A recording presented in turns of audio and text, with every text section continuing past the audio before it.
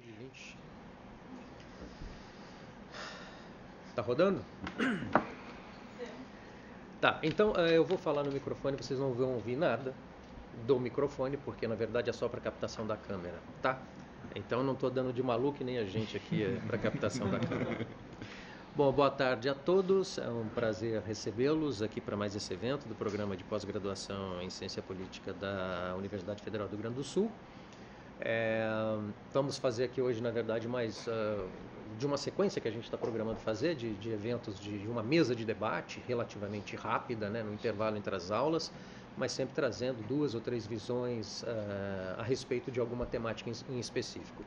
É, a temática de hoje, na verdade, não poderia deixar de ser, como vem sendo há muito tempo, discutir é, a crise política brasileira, que se arrasta já há algum tempo, mas obviamente também com olho aqui no governo é, é, que, que, acabou de se instalar há pouco tempo, do Jair Bolsonaro, é, é, e, e, a situação política do país atual. Né? Quer dizer, vamos ver isso a partir de três perspectivas hoje.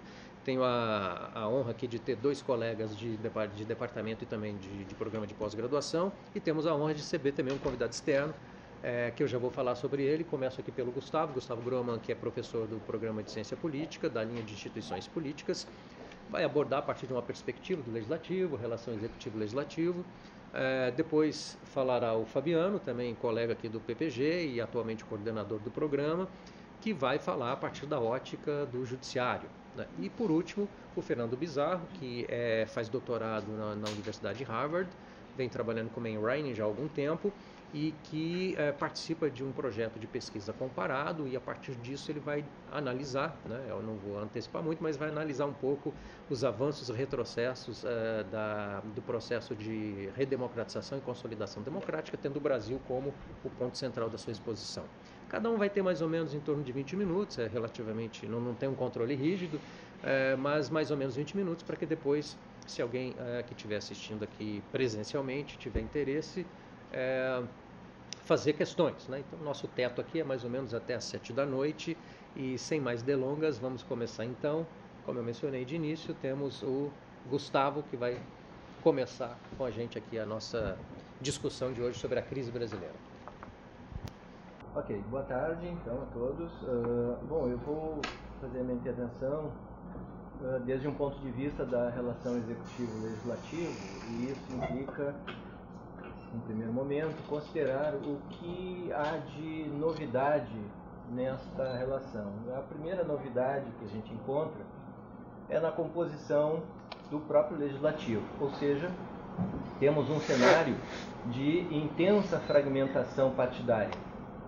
Uh, uh, diferentemente, obedece a, a, uma tendência que vinha se colocando desde, especialmente após 2010, a multiplicação de partidos e a fragmentação de forças, ou seja, partidos mais tradicionais que dispunham inclusive de força parlamentar substantiva viram suas, seu número de cadeiras diminuir drasticamente. E a emergência de, de novos partidos, constituídos no bojo da crise do governo Dilma, do processo de impedimento né, e a partir das manifestações de 2013.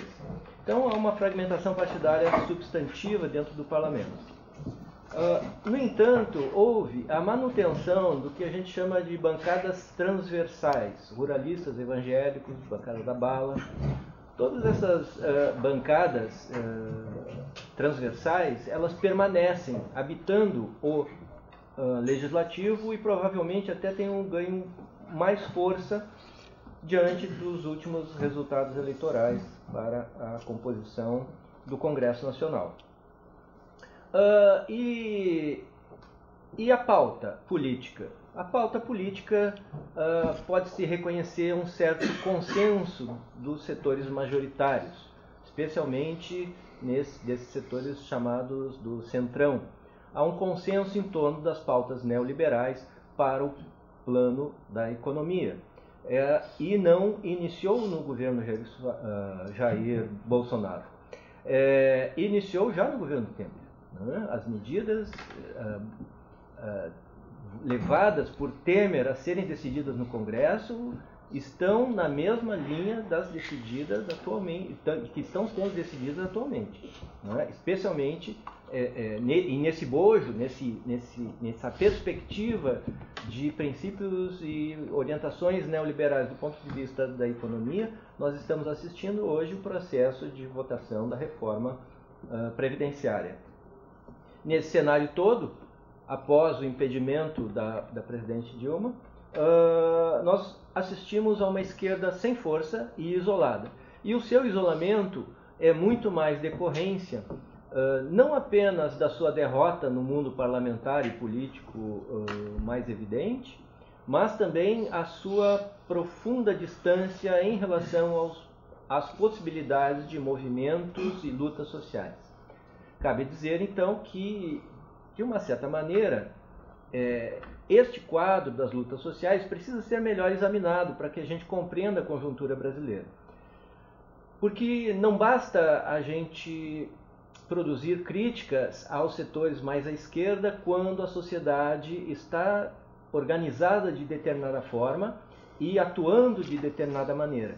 Eu lembro muito sempre os as atuações do, dos setores populares na Argentina, uh, na, depois da crise que sucedeu-se à queda do De La Rua, Uh, vocês devem se lembrar dos episódios envolvendo os piqueteiros, que eram episódios bastante violentos e bastante radicais na sua intervenção e que redundaram em absolutamente nada de transformações profundas no do ponto de vista da, dos setores populares na Argentina, senão apenas a emergência do casal Kirchner, né, com políticas mais à esquerda, e que também não foram uh, uh, capazes de imprimir algo substantivamente novo dentro do cenário argentino, tanto que Macri uh, se elege com alguma folga, né? por mais que tenha problemas atualmente.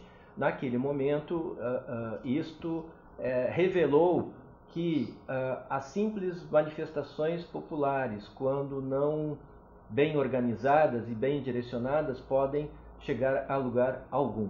Né?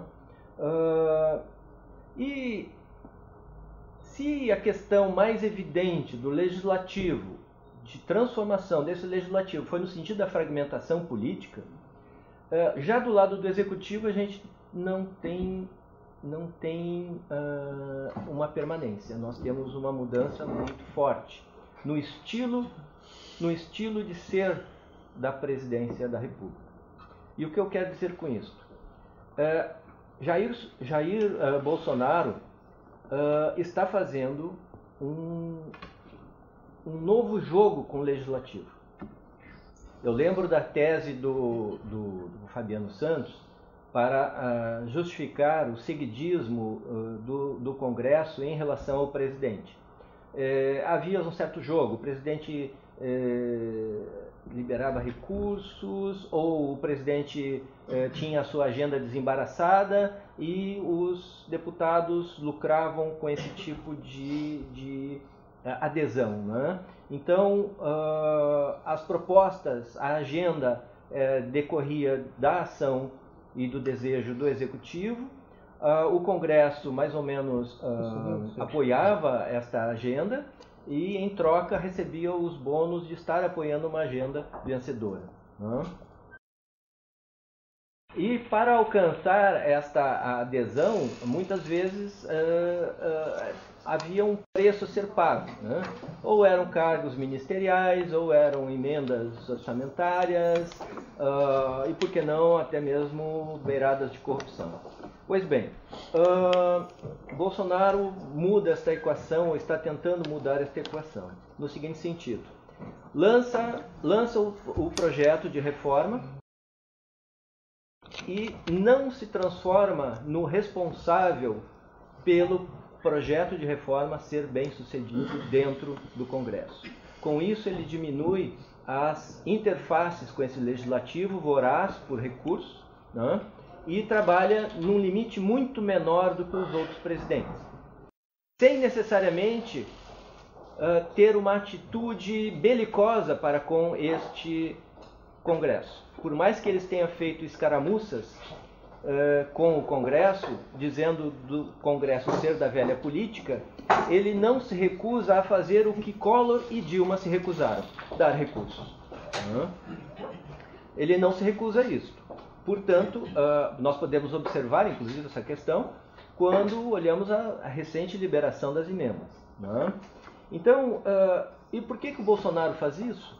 Bom, ele não tem necessariamente uma adesão muito grande a toda uma, uma, uma agenda neoliberal estrito senso. Quem tem essa agenda é o Paulo Guedes.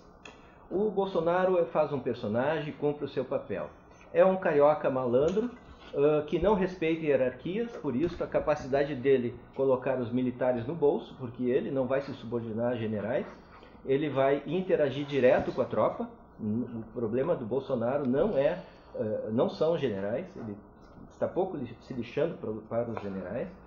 Uh, e, e, e, essas posturas dele eh, levam que, que ele não se envolva com o processo legislativo estrito senso. E ele dá margem para o Maia fazer isso.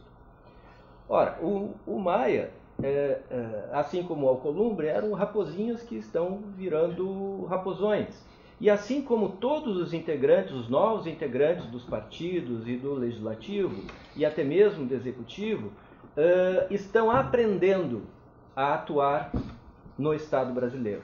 Eles estão aprendendo. Então, qualquer perspectiva que considere o seguinte, que esses seis meses de governo uh, vão permanecer no seu caos, confusão e, e, e, e mal entendidos, eu creio que pode, pode haver surpresas, porque esses, esse caos que muitas vezes aparece de forma tão espontânea, ele é mais interessado do que a gente pode imaginar. A, a, a, reforma atual que, que, está sendo votada é um exemplo perfeito desse tipo de atuação que a gente sempre viu acontecer entre executivo e legislativo. Ou seja, o executivo manda um, um, um projeto mais duro e o legislativo faz as modificações e leva os louros de ter colaborado com o executivo. Uh, e as pautas corporativas, elas sim entram lá para dentro, mas ao, ao truque de votação. Isso aí é um mecanismo de votação que é muito conhecido.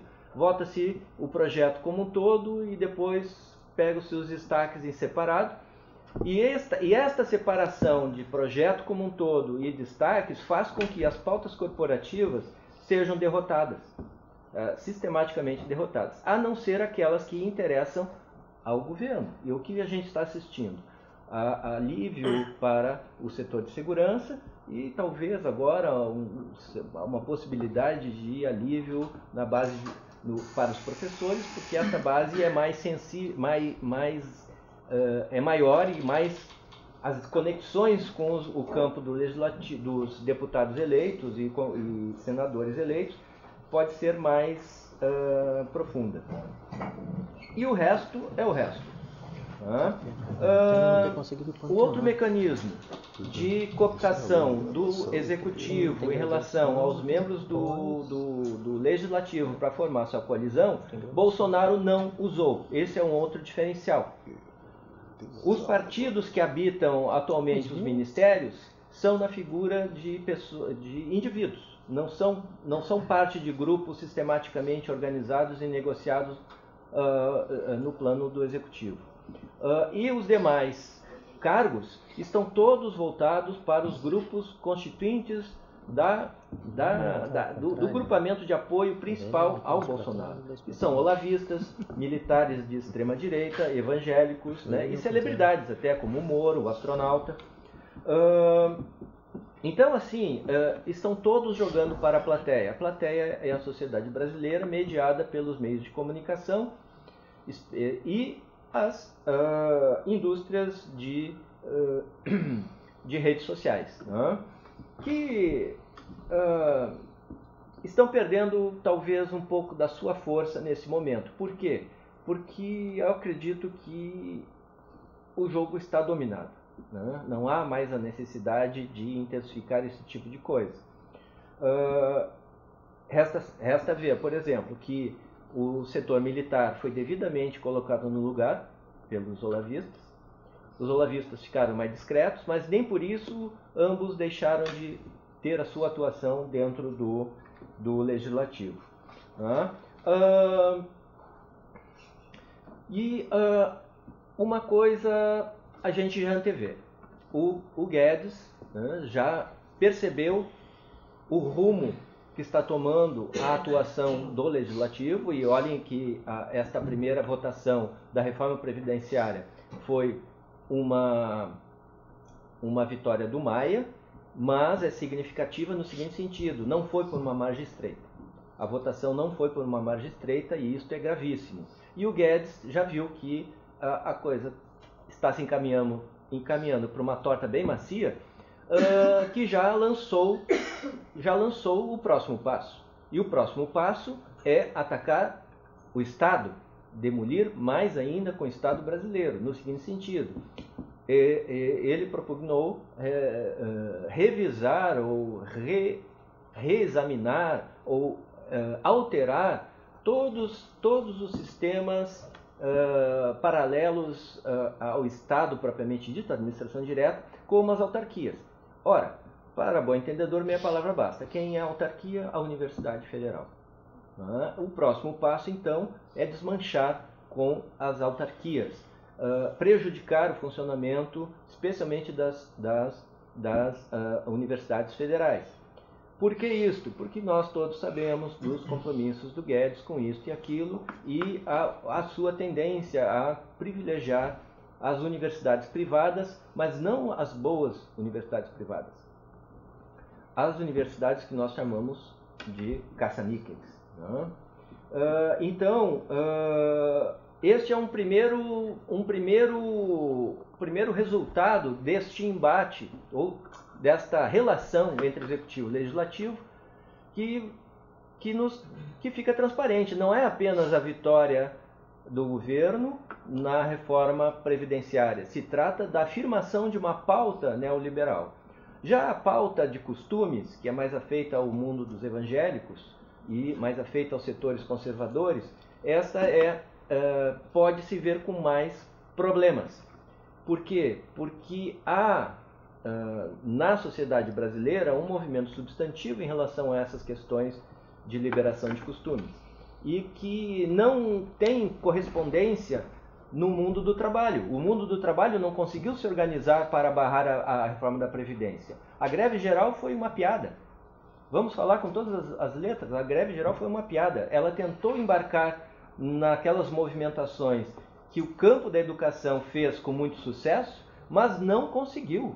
Então, os setores do mundo do trabalho estão seriamente prejudicados no, nas suas possibilidades de ação. Então, uh, nós vemos que o, o, campo da educação consegue alguma mobilização e vai ter que se mobilizar mais, mais daqui para frente. E o campo dos movimentos sociais em relação a costumes também tem alguma mobilização capaz de de complexificar as decisões tomadas pelo legislativo, barrando uh, possíveis uh, uh, vindas de projetos conservadores por parte do, do executivo. Mas esta pauta neoliberal, ela passou no campo, no campo da economia e da regulação do trabalho, passou como, sei lá eu, uma escola de samba lá do primeiro, do primeiro, do primeiro nível no Rio de Janeiro. Né? Uh, então, nós podemos falar que este não é um governo de perdidos. E este Congresso não é um, um apesar da, da, da, pouca experiência de uma série de indivíduos que estão o habitando atualmente, ele também não é um Congresso de perdidos. E o que importa isto para a teoria que examina as relações entre executivo, legislativo e, e o Congresso? Bom, uh, eu creio que não é tanto a forma que o Congresso atua, mas sim a relação que o Executivo está colocando para com o Congresso, tentando uh, uh, inverter alguns, algumas coisas que eram bem estabelecidas. A responsabilidade sempre é do Executivo. O Bolsonaro dividiu esta responsabilidade atualmente com o legislativo. Né? E isto é, é, é, novo. Isto é novo. Uh, e pontos de discussão para o futuro. Né? Como é que este Congresso, que dividiu a responsabilidade agora da reforma da Previdência com o Bolsonaro, como é que ele vai ser percebido pela população? Quem é que levou a melhor, digamos assim, junto à população neste tipo de embate? Né? Uh, por que, que eu, eu falo isso? Porque quando a gente observa a separação das, da população em apoio ou não ao governo Bolsonaro, nós vemos que ele está, ele tem, tem é a regra dos terços, né? Há um terço que apoia Bolsonaro, há um terço que não sabe para que lado vai e há um terço que está contra. Então, isto é um cenário que ajuda o governo. E se ele continuar jogando para o público, especialmente o seu público, tem tudo para permanecer dando as coordenadas. A esquerda, já falei, ela está isolada, está especialmente sem um projeto adequado, não tem conexão mais com a sociedade, como havia no passado, e isso é um sério problema, porque a, a, as agendas, então, vão se definir a partir do centro para a direita, né? se existir ainda um centro forte. Uh, e eu vejo como, como uma das possibilidades, um dos, um dos poucos movimentos que atualmente impactam o legislativo e a sociedade como um todo, são os movimentos em prol da educação. Portanto, uh, creio que a, a, universidade, a educação, todos os sistemas de educação dos estados e municípios, todos os integrantes desses sistemas vão se ver guindados a, a uma posição de é, serem, digamos assim, uma espécie de ponta de lança do que é, seria uma resistência, uma resistência, é, é, meio contraditório falar em ponta de lança numa resistência, mas é, eu vejo mais ou menos isso, é a parte mais aguda possível de ser construída para resistir a um governo que está estabelecendo um novo tipo de jogo no cenário da relação executivo-legislativo. Era isso.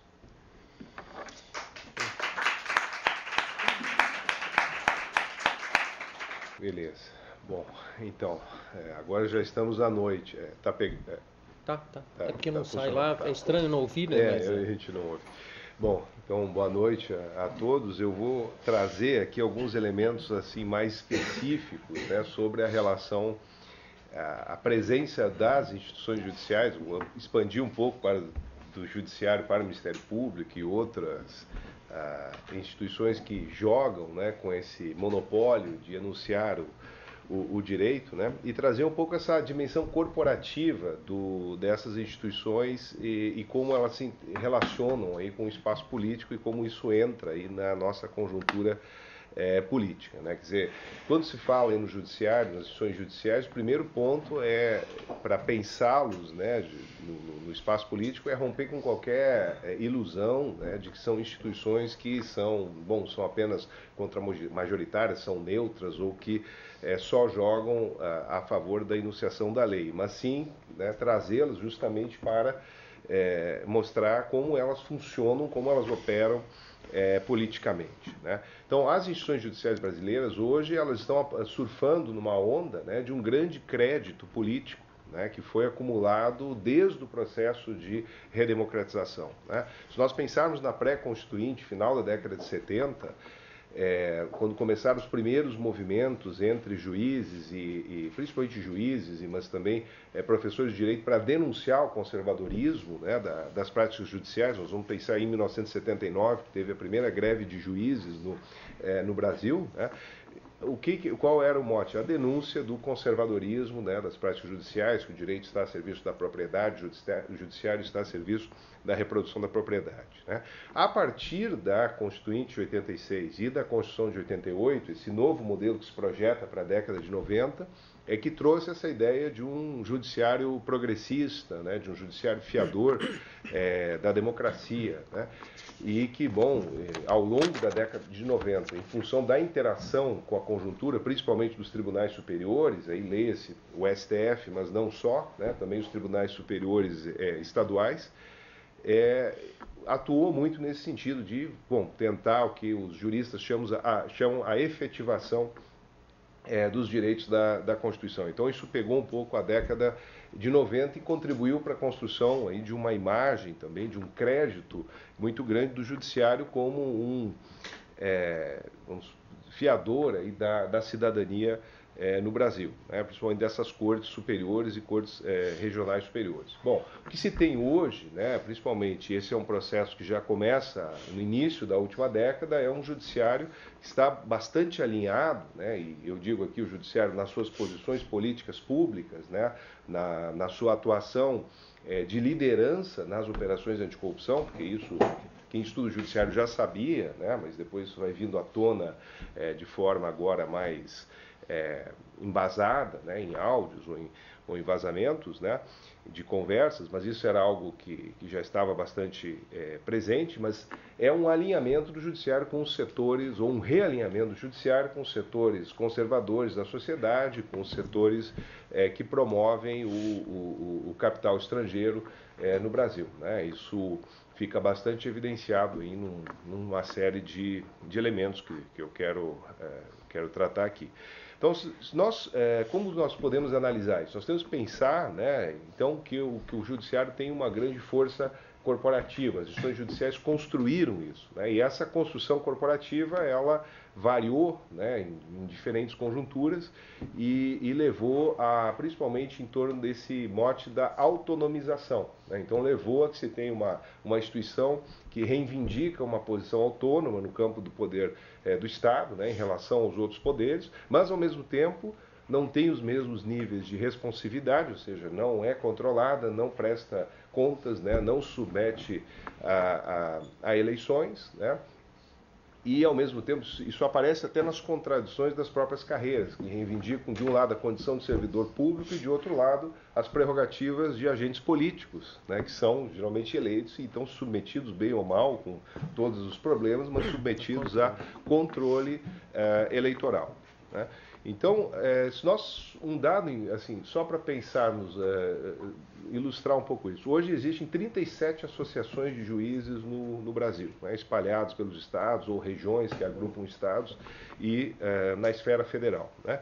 Então, é, essas associações têm, elas, elas gerem escolas de formação, elas gerem hoje cursos de graduação, de pós-graduação. Né? Então, há todo um movimento interno que faz com que o judiciário, isso se estende também para o Ministério Público, funcionem como é, corporações que formam os seus quadros, que reproduzem, e aí circulam ideologias, ideias, né, formas de pensar é, o direito e que adquirem uma grande autonomia em relação ao, ao, restante do espaço do poder do Estado. O Conselho Nacional de Justiça, que foi também uma criação né, pós-constituinte e que serviria para fazer o controle das decisões judiciais, né, o controle administrativo, controle ah, do exercício das prerrogativas dos juízes, que têm prerrogativas né, de vitalicidade, de inamovibilidade, uma série de prerrogativas justamente para manterem um certo distanciamento em relação a, digamos assim, ao espaço político e também não sofrerem as pressões né, é, políticas. Então, isso é um modelo né, idealizado. Então, quer dizer, esse controle, o exercício dessas prerrogativas do funcionamento seria feito pelo Conselho Nacional de Justiça, um órgão externo, e que foi, paulatinamente, há diversas pesquisas que mostram isso, sendo capturado pelas associações de magistrados que passaram a indicar membros para o CNJ, junto com os tribunais mais fortes estaduais, como, por exemplo, o Tribunal de Justiça do Estado. Basta lá eh, analisar a composição é, desse conselho. Né? Então, é, esses elementos todos mostram a força né, desse, é, desse peso corporativo.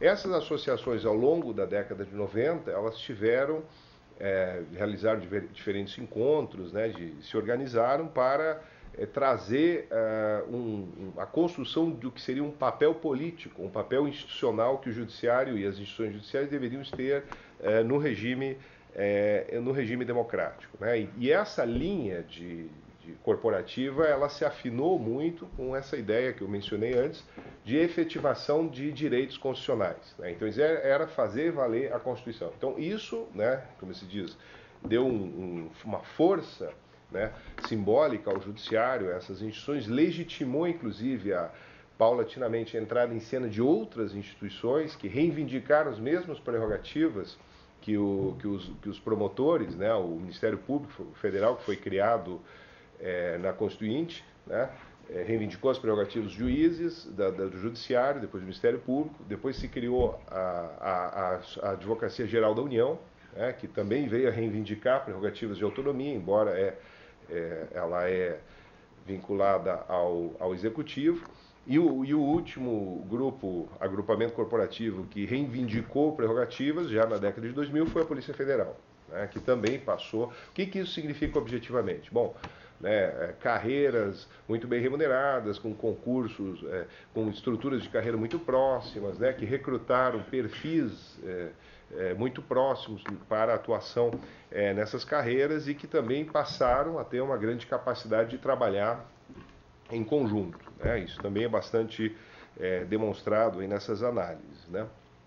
Então, é, ao mesmo tempo, esse efeito corporativo ele vai entrar em linha de correspondência com tudo que nós conhecemos aí pela é, exponencial aumento da judicialização, né, com todas as aspas, que é uma expressão não muito é, consensual na ciência política, né, mas é usada até com o senso comum e tal. Mas a judicialização da política é a entrada em cena, ou seja, a mobilização do judiciário para discutir, bom, eh, discutir minorias legislativas que provocaram o judiciário para discutir a constitucionalidade de normas, isso aconteceu acontece no Congresso, na Câmara e nas assembleias legislativas, então deu um exponencial aumento disso. Os próprios partidos, as minorias partidárias, o Ministério Público né, entrou nesse jogo e jogou, então, para esses tribunais que fazem o controle de constitucionalidade estadual, né, os TJs, e também para o STF, um grande poder de é, se pronunciar sobre assuntos que seriam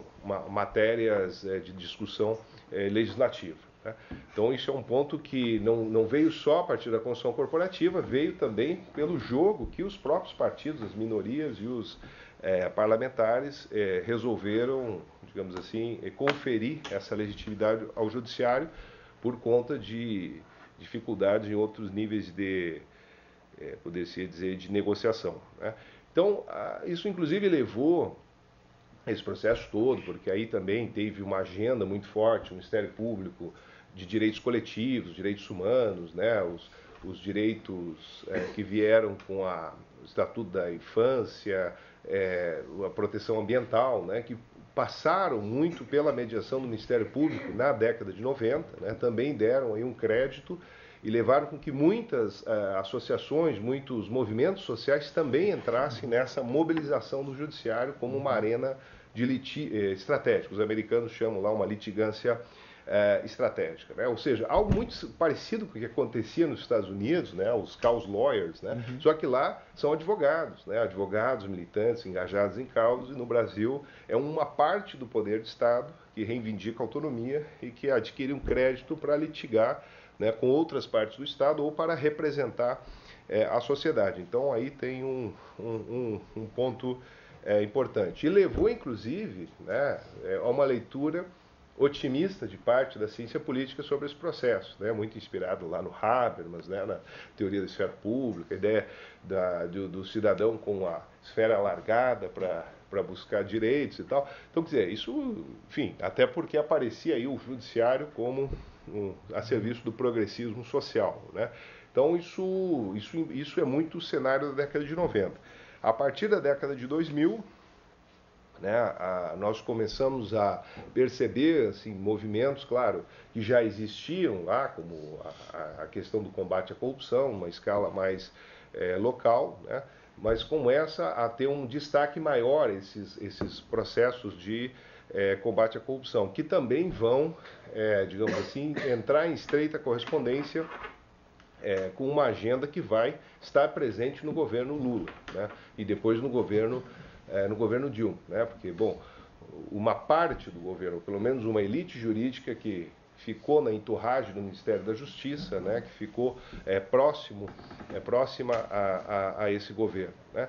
Então, a, essa agenda do combate à corrupção, ela é uma agenda econômica, né? ela é uma agenda que, que vem através da economia institucional, ela é uma agenda da economia é, neoliberal internacional, né? A Transparência Internacional, que foi fundada por ex-diretores do Banco Mundial. Então, isso estabeleceu uma linha de correspondência muito forte em diferentes setores do, do Judiciário do Ministério Público com esses movimentos internacionais, né, com esses movimentos de promoção é, de modelos, né, e que cresceram bastante. Claro que aí entra também um efeito de geração, né, uma nova geração que vai começar a ingressar tanto no Ministério Público quanto na, no, nos judiciários, né, a partir da década de 2000, menos envolvida com as lutas dos, pelas prerrogativas na Constituinte, menos envolvida com aquela ideia do judiciário como um fiador do regime democrático, né, e mais envolvida com uma segunda é, agenda aí que, que começa a crescer. Né? Por exemplo, se nós pensarmos isso no âmbito do, das teorias do direito, né? Eu não entrar nisso aqui, né? Mas isso também faz parte do, do fenômeno, né? Então, por exemplo, o movimento Law Economics, né? Aquela ideia do direito como que o direito e as instituições judiciais devem servir a um bom ambiente de mercado, né? Isso não tinha recepção nenhuma no Brasil, né? Isso vai entrar muito recentemente, vão ser traduzidos os trabalhos, começa a entrar nas escolas de direito, agora tem graduação em direito voltada para o direito empresarial. O que predominava era a ideia né, do, do direito social, do, do, do que reproduzia a ideia, o modelo europeu do direito promovendo o estado de bem-estar social, o Estado como princípio regulador é, da sociedade. Né? Então isso era o que predominava muito nas doutrinas é, constitucionais. Né? Então tem esse ponto aí que não pode ser é, desprezado. Bom, e entrando, uh, para ser mais objetivo nesse ponto, né, quer dizer, isso vai entrar uh, em linha de correspondência, então, com essa expansão, né, eu até fiz aquele, aquele gráfico ali, que era uma outra apresentação, mas, por exemplo, a grande expansão que vai haver eh, no Brasil é, já na década, metade da década de 90 para 2000 das leis anticorrupção. Né? Então, por exemplo, até 88 nós tínhamos o Código Penal de 1940, ah, uma lei de crimes contra a administração pública, né? eram dois, três estatutos legais. Depois nós temos uma, uma grande ampliação, lei de licitações, lei de responsabilidade fiscal, uma, uma série de, de reforços né? institucionais para a atuação dessas instituições de controle, né? do Judiciário, do Ministério Público, depois da AGU, da CGU, né? de todas essas instituições que vão sendo criadas na década de 2000 e que reforçam todo esse poder né, dos juristas que falam em nome dessas, é, dessas instituições. Então, aqui há um, uma, uma grande mão aqui do governo Lula e depois, de certa forma, do governo Dilma. Né?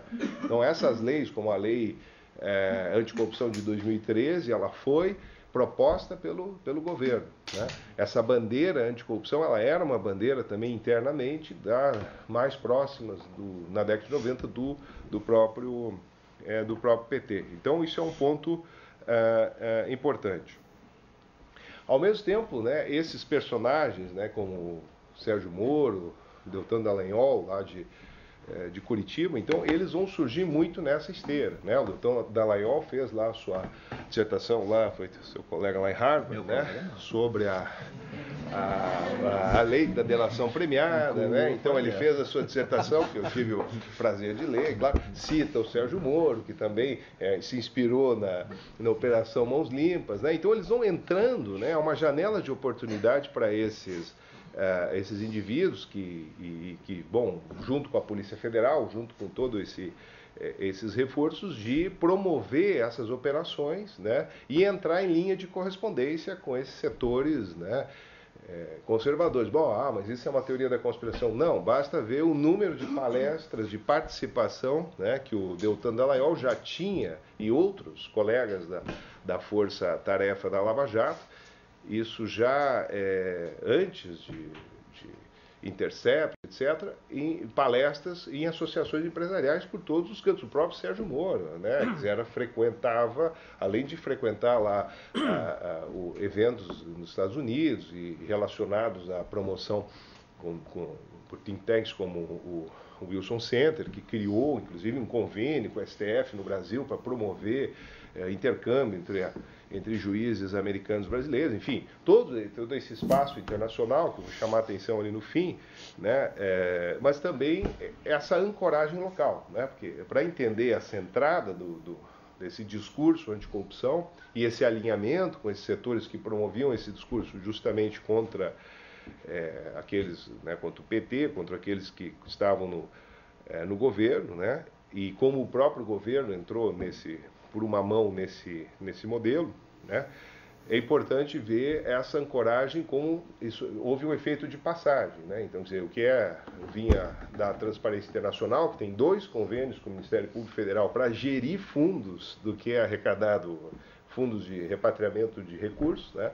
Então, a, a, transparência, ela transfere tecnologia, não é para uma associação do Ministério Público, é para a instituição, é, para, é com o Conselho do Ministério Público Federal. Também tem convênio com o CNJ. Então, como isso foi entrando né, e, e embasando é, modelos que têm repercussão hoje na, na própria configuração política é, do Judiciário. Não que não exista ainda lá no, nessas instituições a, a, a, defesa dos direitos humanos ou as procuradorias específicas de e que tratam disso. Mas o que assumiu hoje como grande carro-chefe foi esse, essa ideia punitivista né, é, é do, do, combate à corrupção e como isso se voltou é, para o, digamos assim, um novo modelo de é, política, de, de relações, inclusive, público-privado. Né? Um outro aspecto importante a, a, a considerar nisso né, é, também é, é, a entrada, por exemplo, é, é o que resultou desses, é, dessas operações anticorrupção. Então, não só as resultantes políticas, como a entrada do principal juiz do processo num governo né, de direita, como um fiador né, do, junto à classe média, de uma parte da classe média desse, desse governo, mas também a digamos, a saída de vários procuradores para consultoria, né, que através desses programas de compliance que as empresas começaram a, a adotar, as grandes, grandes, multinacionais, então esses procuradores se aposentam ou deixam o Ministério Público para atuar como consultores na AGU, né, isso é um fenômeno corriqueiro, né, na Advocacia Geral da União, e os próprios ex-ministros né, do governo Lula, que não vou entrar no ponto aqui, mas que também o, o PT afundou, mas eles estão muito bem, obrigado, e com, fazendo consultoria para compliance, os que articularam essas leis é, anticorrupção. Hum. Né? Então, é, esses pontos aqui, eu trouxe pontos mais gerais, né, já, já, já, passou o tempo, é, esses pontos mais gerais, eles circundam né, todo esse, é, esse processo e, e eles são importantes porque o, senhor pensa, bom, mas né, o, qual é a relação, o, o poder que está mais forte nesse jogo é o STF que teria condições de conter tudo, todo esse processo. Porque quando se falava em judicialização da política, todos esses fenômenos na década de 90, a concentração sempre era sobre esses é, tribunais superiores. Mas o STF ele foi, né, ele foi muito atropelado por esse, por esse processo, por esse processo todo. Né? Então, quer dizer, juízes mais ativistas ou sempre houve. Né? Agora, a, os processos vão adiante quando há lá um, um, né, uma incapacidade de uma instituição como o Supremo Tribunal Federal de, bom, modular, moderar e, né, e, e, e estar totalmente permeada pela conjuntura política que lhe impede de, de fazer é, essas ações. Bom, ainda sobre o ponto anterior, da, que eu queria só chamar a atenção da circulação é, internacional, vou pedir para colocar ali um, um, segundo, um segundo gráfico aqui. Próximo. Bom, isso é só para fazer uma, uma ilustração de um trabalho, pesquisa que nós estamos fazendo aqui, é, que é sobre os afastamentos dos procuradores da República. Né? Nós pegamos diários oficiais, onde eles são é, é registrado o afastamento deles para o exterior, então uma, uma base que vai de 2008 2018, nós estamos fazendo isso para a AGU, né? para outras categorias também. Mas a, a, essa, essa base mostra o seguinte, né? que não é algo corriqueiro, uma exponencial aumento né, da, das, da, dos afastamentos para eventos, para participação em congressos, para eh, programas de cooperação internacional com outras agências eh, do Ministério Público, principalmente a partir lá de 2015, né, onde eh, e que coincide bastante aí com o início da operação da operação Lava Jato e também com outras com a institucionalização da cooperação internacional que vira um departamento dentro é, é, do Ministério Público. Né? Então, esse dado aqui, ele, ok, ele mostra essa problemática da circulação, mas ele também chama atenção para um outro ponto que eu, que eu estava mencionando, que é a autonomização dessas instituições. Né? Então, quer dizer, instituições como o Ministério Público, a Justiça Federal, eles, eles têm relações com outras agências em outros países e, e assim e também com agências internacionais que não passam em nada pelo, uh, pelo o circuito de governo. Ou seja, isso começou a, a, não passar mais pela, pelo Ministério das Relações Exteriores, por exemplo. Né? Então, os, os, procuradores têm assento na OCDE, em grupos de trabalho, tem, participam de diversas uh, instituições de anticorrupção né, internacional, organizações, redes, né, e possuem, então, uma, uma autonomia né, de, de cooperação que mostra aquele fenômeno de, de autonomização, de grande autonomização é, corporativa. Só um, um, o último slide ali, ainda mais um aqui. Bom, aqui foi só um levantamento que nós tentamos fazer também das oscilações dos, dos, países de destino. Nós temos outros dados, vai sair uma publicação em breve, mas é, que é o, o, os dados de destino. Então, também cresce lá e pontua os Estados Unidos, que não tinha muita relevância nessa série, e anteriormente era, era pouco relevante, porque a, a formação, digamos assim, da, das doutrinas jurídicas, a formação dos juristas né, que atuam, principalmente no Judiciário e Ministério Público, historicamente ela era focada é, muito mais voltada lá para países europeus e para aquele modelo é, de Estado é, de bem-estar social, digamos assim, né? e ela vai, digamos, tendo uma inflexão para, ah, digamos, uma presença maior do, da circulação junto a, a, aos Estados Unidos, que não é só uma formação acadêmica, né? os indivíduos não vão lá fazer, eles vão é, participar de colóquios, de, de, de estadas curtas, de cooperação é, com agências né, uhum. que são sediadas né, nesses outros países. Assim, claro, aumenta também na América Latina, na Áustria, que tem uma, um mestrado em anticorrupção. Né? O Peru, que teve todos os casos recentes, né? tem uma cooperação muito forte com o Ministério Público. Estou pegando aqui só o Ministério Público. Né? Bom, mas então, isso, para encerrar aqui, é um fenômeno que precisa ser considerado né, mais estrutural, que ajuda um pouco a entender a, como, a, a como essas instituições foram chegar a se posicionar né, no, no, na, na, atual é, conjuntura, né, com, com, com essa autonomia, então, quer dizer, com essa duplicidade, uma reivindicação de autonomia, mas ao mesmo tempo uma estreita relação com esses setores que estão promovendo um modelo é, muito específico né, de, de desenvolvimento e de, como acentuou aqui o Gustavo, de desmonte, né? um projeto é, é, de desmonte do, é, do Estado. Bom, eu deixei só essas questões mais gerais, depois se podemos aprofundar as questões mais específicas. Obrigado.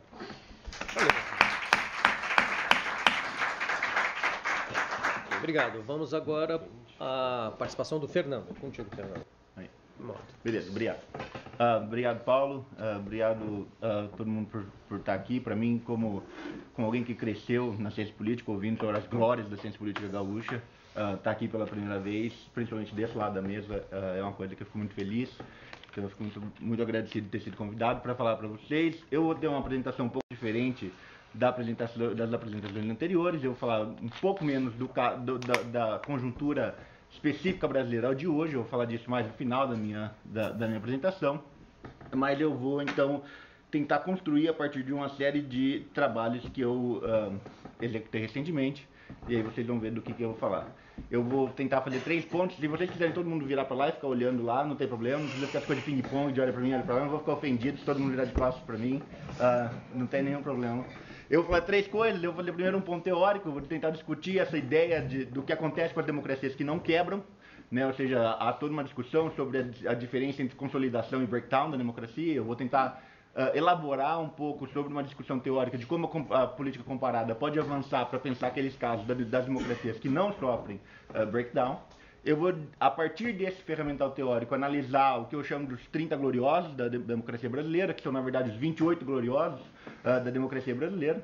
E, por último, também usando esse ferramental, eu vou, então, discutir a experiência recente de erosão da democracia brasileira e, em especial, uh, tentando entender o que ela significa para o futuro uh, imediato que a gente tem aqui. Então, na literatura internacional em ciência política, uh, vocês sabem, tem toda uma discussão sobre o que acontece com os regimes uma vez que eles começam. Né? Tem toda uma grande literatura em que, por exemplo, um dos livros de destaque é o livro do Chevorsky, do, do Fernando Limonge, com o Zé Antônio Sheibub e o Marco Alvarez, sobre o destino das democracias. Né? E, e aí, quando você tem toda essa série de trabalhos, o objeto que eles estão analisando ele é limitado a uma variação dicotômica entre se essa democracia sobrevive ou se ela quebra. Né? E aí você tem toda uma série de elaborações teóricas e uma série de trabalhos empíricos, um dos mais recentes e mais interessantes é esse trabalho do Milan Zvolek, que é citado ali de 2015, que tenta entender em quais condições que você vê as democracias sobrevivendo. Ah, por favor. O problema disso é que a quebra da democracia foi relativamente rara nos últimos anos na América Latina. Né? Ou seja, você imagina que você teve 22 episódios de transição para a democracia na América Latina desde 1974 e só seis desses países de fato viram a quebra da democracia. Então, quando você está tentando analisar o que acontece nesses países, você acaba tendo um, um, um, um objeto que não varia tanto.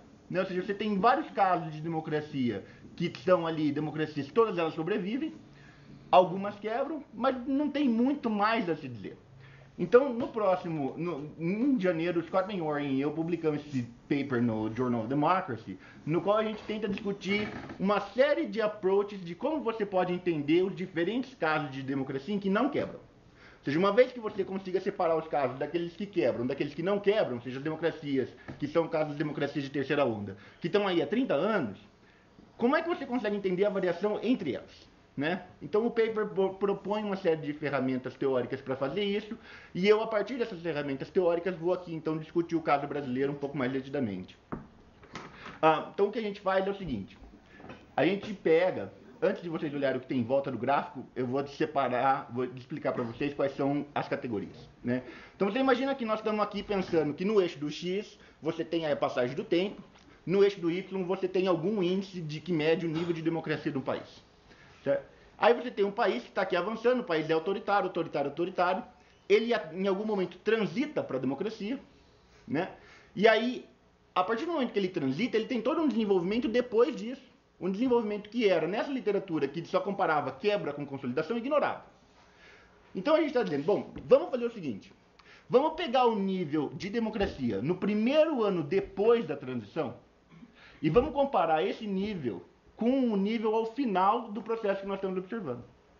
Então, se vocês repararem, o que eu faço? A gente pega aquele primeiro ponto onde tem o vermelho, o amarelo e o verde todos juntos, na a minha linha que lá embaixo no eixo do X está escrito primeiro ano de democracia, e compara o valor do nível de democracia eleitoral, medido pelo Varieties of Democracy, que é um projeto internacional de desenvolver uma nova série de indicadores de democracia no qual eu trabalhei por três anos, para que a gente possa então comparar como essa democracia liberal, que a democracia liberal ela inclui não só a dimensão eleitoral da democracia, ou seja, quão free and fair são as eleições, quão competitivo e participativo é o processo, uma coisa muito parecida com a ideia de poliarquia do Dow, mas que também inclui a dimensão dos checks and balances, também inclui a dimensão do império da lei e também inclui a dimensão dos direitos individuais. Né? Então, quando vocês vão olhar os gráficos que eu vou mostrar para vocês, vocês tenham essas quatro dimensões em mente. Ou seja, esses gráficos tentam criar um único indicador para medir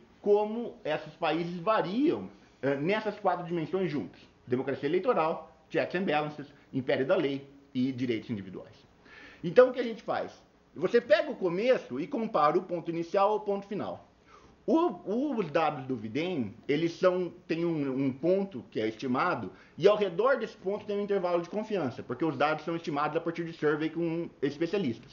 Então aí você consegue estimar um intervalo de confiança, porque os especialistas não concordam exatamente em tudo, eles mais ou menos concordam, então você consegue dizer, olha, eles concordam que é mais ou menos aqui, com um determinado nível de certeza. E a gente compara basicamente o seguinte, você pega o ponto inicial e pega, digamos, a borda superior do ponto inicial. Se a borda superior do ponto inicial for inferior à borda inferior do ponto final, nós dizemos que houve uma mudança significativa positiva, ou seja, houve um avanço da democracia. Ou seja, o nível final dessa democracia é claramente maior do que o nível, nível inicial. Ou seja, ele está ali do, dois intervalos de confiança, do, do, dois níveis padrão, além do nível inicial. Se o nível final está dois desvios padrões abaixo, você teve um processo de erosão da democracia. E se o nível final está mais ou menos, está dentro do intervalo de confiança, você teve uma democracia que estagnou. Está claro para todo mundo essas três coisas? Então, se você passar para o próximo, uh, vocês vão ver três casos em que isso ocorreu. Né? Ou seja, a democracia argentina é uma democracia que estagnou desde a transição. Ou seja, uma democracia que começa já ali por volta de ponto 6, num indicador que vai de 0 a 1, e por ali ele permanece. Né? A despeito de que todo mundo achava que talvez a democracia argentina fosse começar, tinha toda aquela exuberância do governo Afonso, etc. Mas por uma série de crises, tem toda aquela confusão, a Argentina é uma zona completa, a coisa acaba que uh, ela não consegue avançar e é uma democracia que ao final é muito parecida com a democracia, pelo menos nesse indicador, muito parecida com a democracia no começo. Um caso de avanço é o caso da democracia chilena, ou seja, uma democracia que era uma democracia tutelada no início, da, depois da transição do governo Pinochet, que, que tinha herdado toda uma série de aparatos de controle democrático que o governo Pinochet tinha imposto para concordar com a transição de, do poder para o governo civil, e que aos poucos vai, com muito custo, limpando algumas dessas, de, de, desse aparato autoritário que eles tinham herdado. E o caso do terceiro que vocês veem ali é o caso do Equador, que era uma que desde a transição foi uma foi uma democracia já de menor qualidade do que as outras duas, mas havia um determinado nível de competição, mas que pelos indicadores, a partir do momento que o governo Correia assume e, e há todo uma, um processo de mudança do padrão de competição política e maior controle sobre a oposição, etc., você vê no indicador um, uma erosão da democracia. Ou seja, no final, em 2017, o final de tudo isso aí é 2017, o nível de democracia no Equador é pior uh, do que o nível de democracia no início, de, de, quando o, o Equador transitou para a democracia. Então é, é disso que esse é o aparato teórico. Aí eu vou usar isso então para pensar o caso brasileiro. Ou seja, o caso brasileiro é uma maravilha, porque você pode passar para o próximo, por favor. O caso brasileiro ele tem as três coisas. No contexto, você imagina que o Brasil ele se torna uma democracia a partir da forma como nós definimos transições, a partir desses dados, o primeiro ano da democracia brasileira é 1986, ou seja, a transição, é, a transição, não, é 1987. A transição ocorre em 86, oficialmente, ela não ocorre, não é assim que a gente concorda, mas a partir dos indicadores ela ocorre em 86, porque é ali que você tem de fato uma primeira eleição em que você tem mais liberdade de competição, etc. 85 tinha trocado o presidente, mas ainda era um regime, era basicamente um regime autoritário civil, uh, efetivamente é do ponto de vista do, do, dos do, dos dados, né? Então, em 86, com essa, com o início da abertura, que você tem a transição para a democracia, a partir dali que o, que o indicador passa a identificar o Brasil como uma democracia.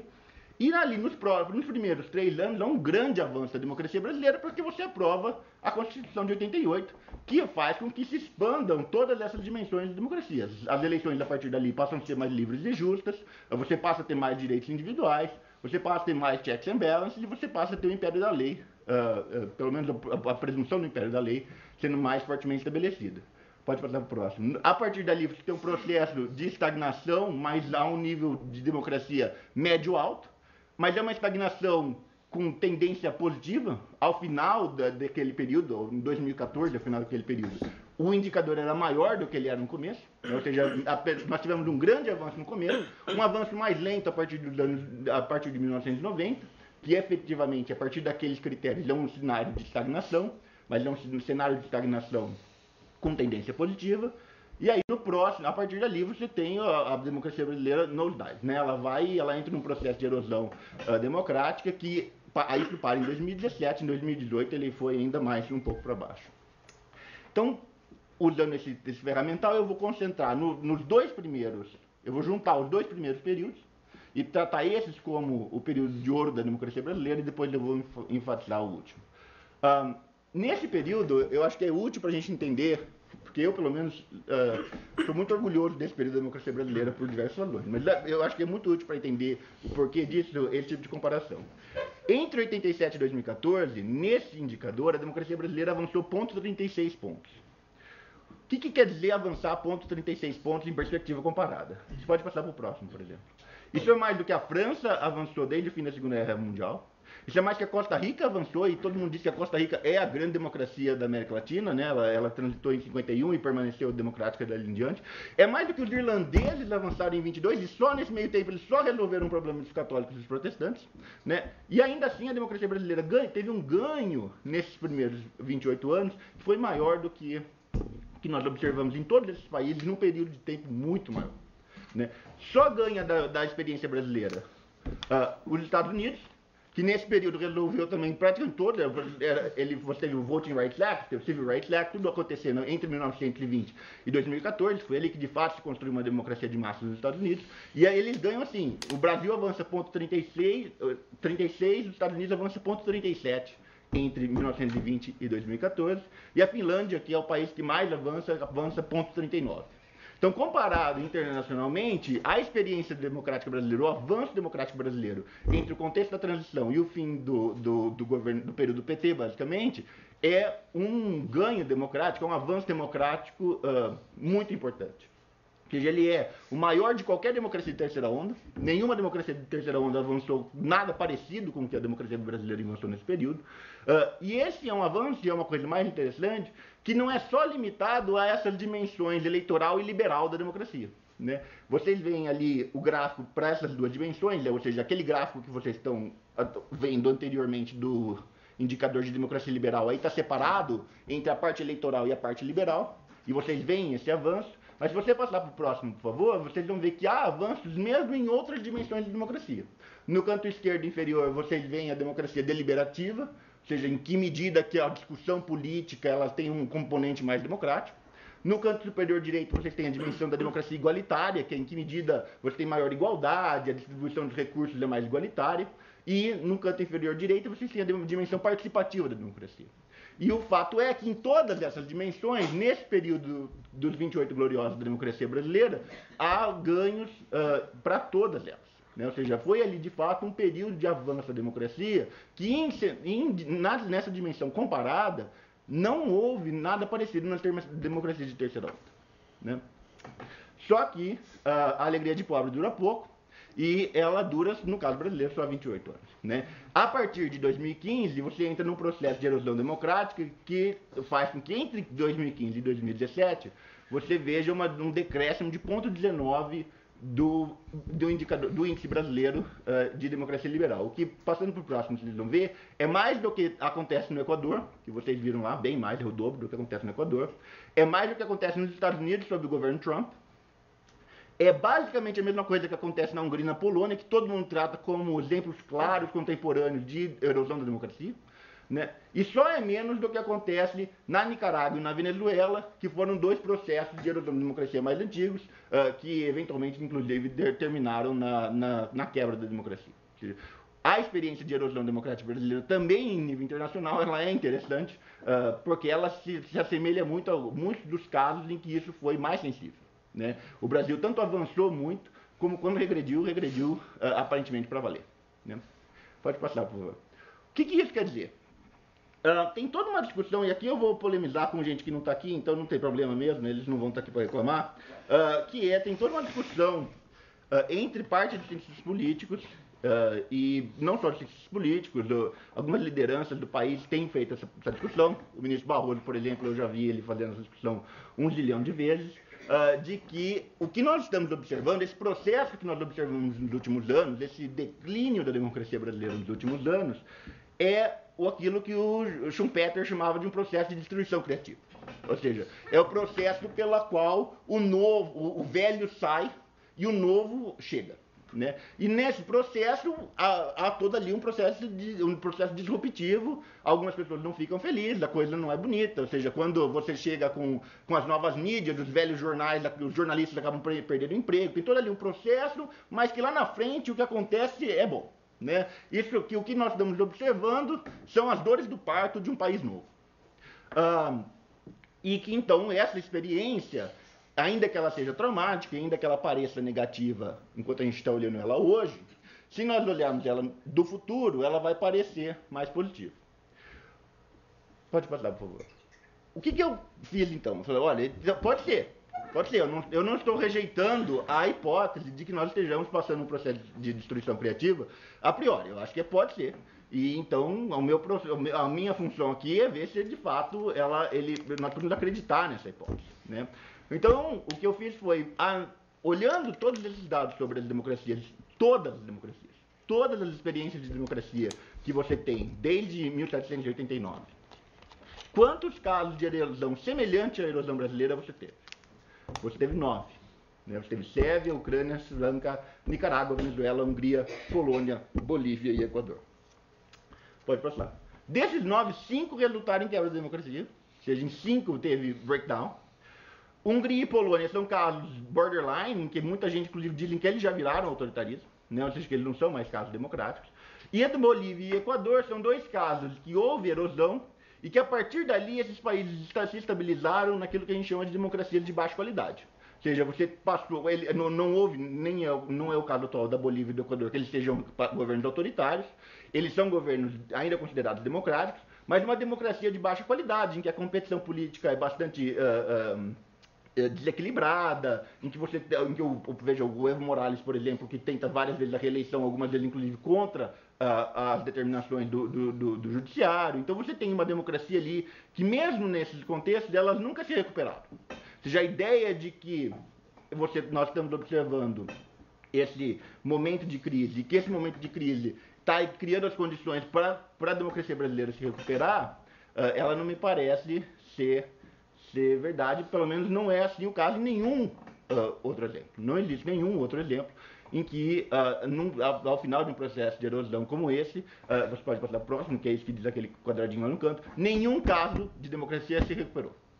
Ou elas quebraram, ou elas permaneceram de muito baixa qualidade.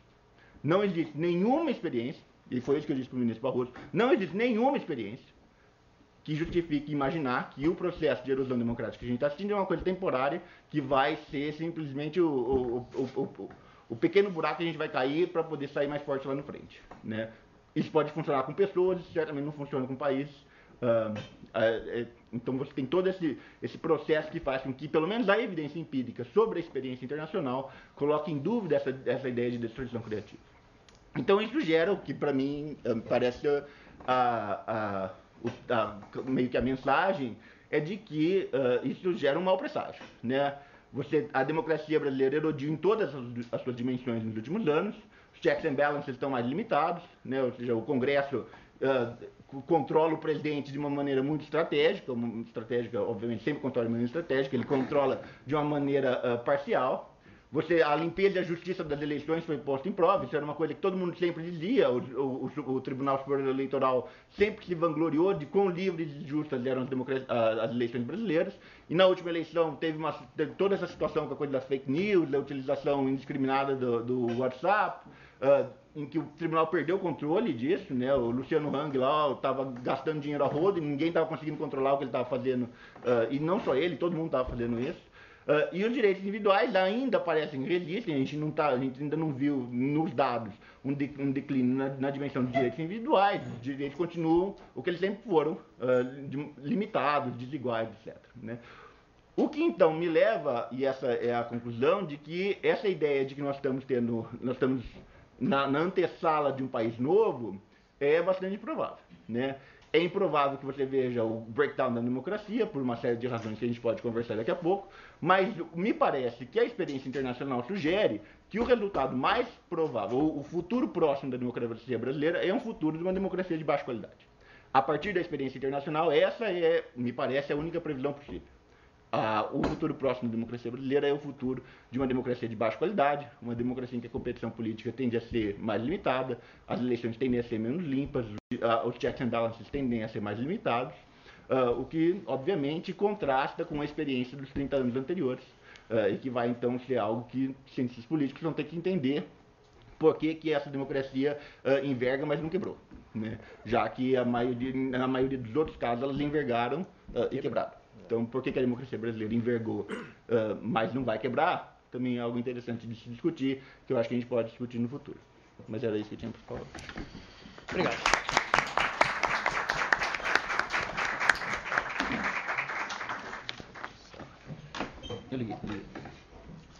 Obrigado, Fernando. Bom, nós temos aqui alguns minutos ainda, uns, talvez uns 20 minutos, 25, ah, para debater, né? Afinal de contas, é uma mesa de debates. Então, eu começo abrindo para quem quiser fazer alguma observação, alguma pergunta. Está funcionando. Tá.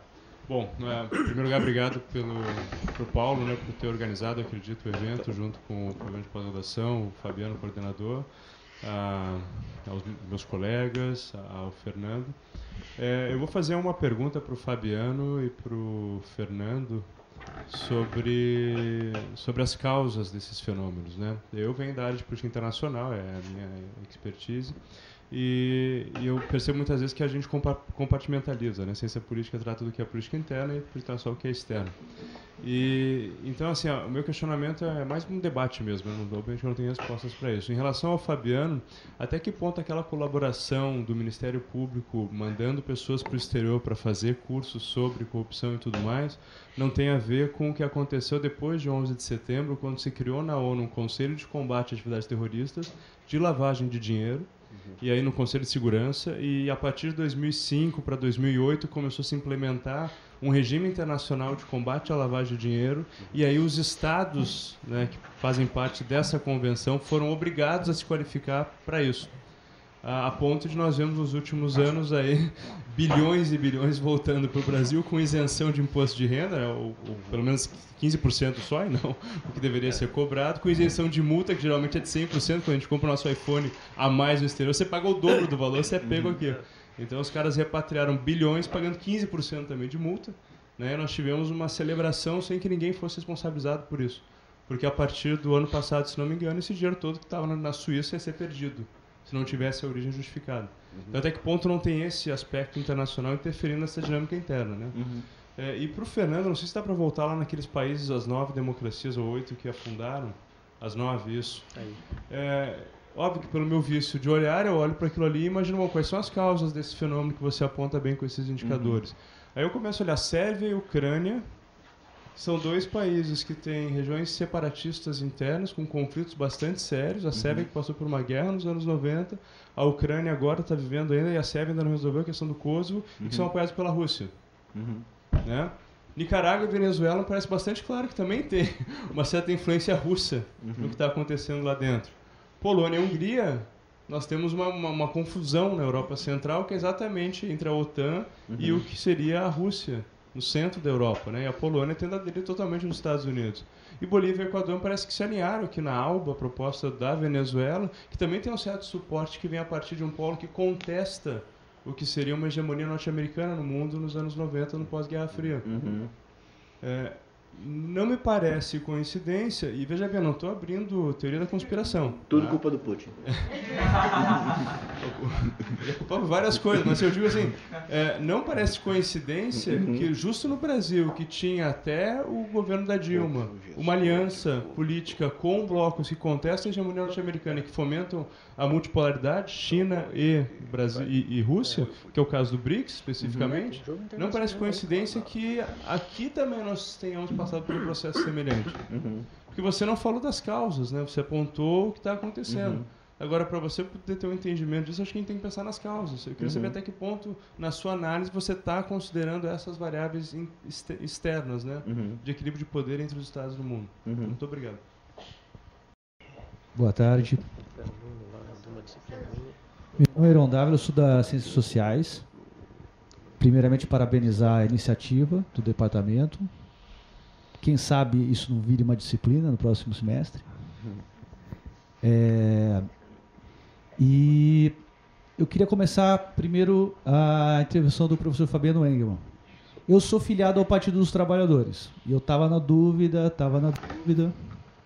Falei, não, nessas férias eu vou viajar lá para o eixo Rio-São Paulo e eu vou protocolar um pedido, como eu sou filiado, um pedido de comissão de ética para os camaradas, os companheiros do partido que foram do Ministério da Justiça nos últimos anos. Porque você tem quatro anos de Tarso Genro e depois mais quatro ou cinco do José Eduardo Cardoso. Meu, Dilma não aguentou, Lula não aguentaria, Allende não aguentaria, Peron não, tem, não tenho certeza, e quiçá nem o Charles de Gaulle aguentaria ter na mesa, porque o Ministério da Justiça é o, primeira, é o primeiro ministério criado na República, né? Ele fica imediatamente ao lado do presidente da República. Você não conseguir fazer uma estrutura de sistema de defesa do governo. Pelo contrário, todo o chumbo nas costas veio dali.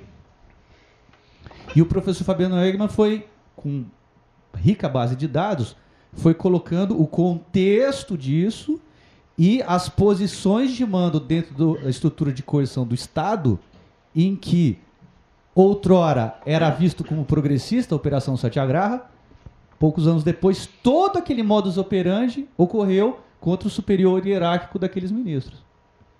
Isso vai ter que ser debatido na universidade e também na, na principal organização de trabalhadores do país. E a segunda coisa que o professor Fabiano Engel colocou, muito importante, que não digo neste debate, nem quiçá este debate vire uma disciplina, mas para os próximos anos, não é possível ter um golpe de Estado, já que o colega falou várias vezes citou a Rússia, não é possível ter um golpe de Estado hoje, como aconteceu no Brasil em 2000, 31 de agosto de 2006, sem o papel da universidade. O da Turquia, o governo que não caiu, acusou o principal artífice do golpe, o dono da principal rede de universidades da Turquia. Se não tem essas relações de reprodução e de consórcio e intercâmbio com os centros hegemônicos mundiais, Estados Unidos, Estado de Israel, Reino Unido, não pinta golpe de Estado nos tempos que está acontecendo hoje. Que temos? Acontece golpe de Estado, ninguém está falando que foi golpe de Estado. Então a, primeira, a, a pergunta que eu queria fazer é para o primeiro professor ali. Ele disse que uh, o governo Bolsonaro agora está vendo é, uma esquerda sem agenda, desplugada da sociedade, e é fato. É, quem poderia verbalizar isso é um preso político, que fala em 15 15 dias, mas ele coloca a universidade como a ponta de lança da resistência. A minha pergunta é a seguinte: será se uma vez, uma vez frustrada essa tentativa de ir diametralmente em conflito com a universidade brasileira, é, é possível que este governo, com todos é, os usos e costumes de uma guerra híbrida, ele possa por dentro da universidade corroê-la por dentro e impedir a ser uma força vetusta contra um, um Estado em golpe de Estado, mas em uma situação de repressão ainda maior? Muito obrigado. É, não, é só, eu só quero pedir, Fernando, que tu complemente a conexão. É porque eu não entendi no, a conexão que tu fez no início, citando tipo toda essa tradição de teoria da modernização, Tversky, uhum. uh, Lipset e tal. Uh, como isso se conecta à análise comparada que tu fez, porque mesmo do, tipo porque eu achei muito interessante a, a, a lógica de evolução comparada, a, o declínio e tal e, e, e, a semelhança com o caso brasileiro, uh, mas uma coisa que o próprio Levitsky acaba caindo, que é tipo a gente entra na polarização, na na polarização, no, na, na crise, mas na hora de, de, de tentar encontrar as causas a gente acaba voltando ao estruturalismo. Uh, Será que o caso do Brasil, por ter uma classe média maior, ser um país mais complexo, que todos esses países que são pequenos não, não tem uma, uma variável diferente? Pergunta. Ah, quanto à destruição da universidade, o governo tem muitos mecanismos e, e isso, aí para isso não há uma receita certa. O que é certo é que vai haver um tipo de ação determinado. A corrosão da universidade pode se dar ao longo do, dos quatro anos de governo não necessariamente por um ato único, único né? É, de longo prazo, ainda mais porque há planos de reeleição. Então, é um projeto de oito anos, no mínimo. Né? E isso causa um estrago tremendo.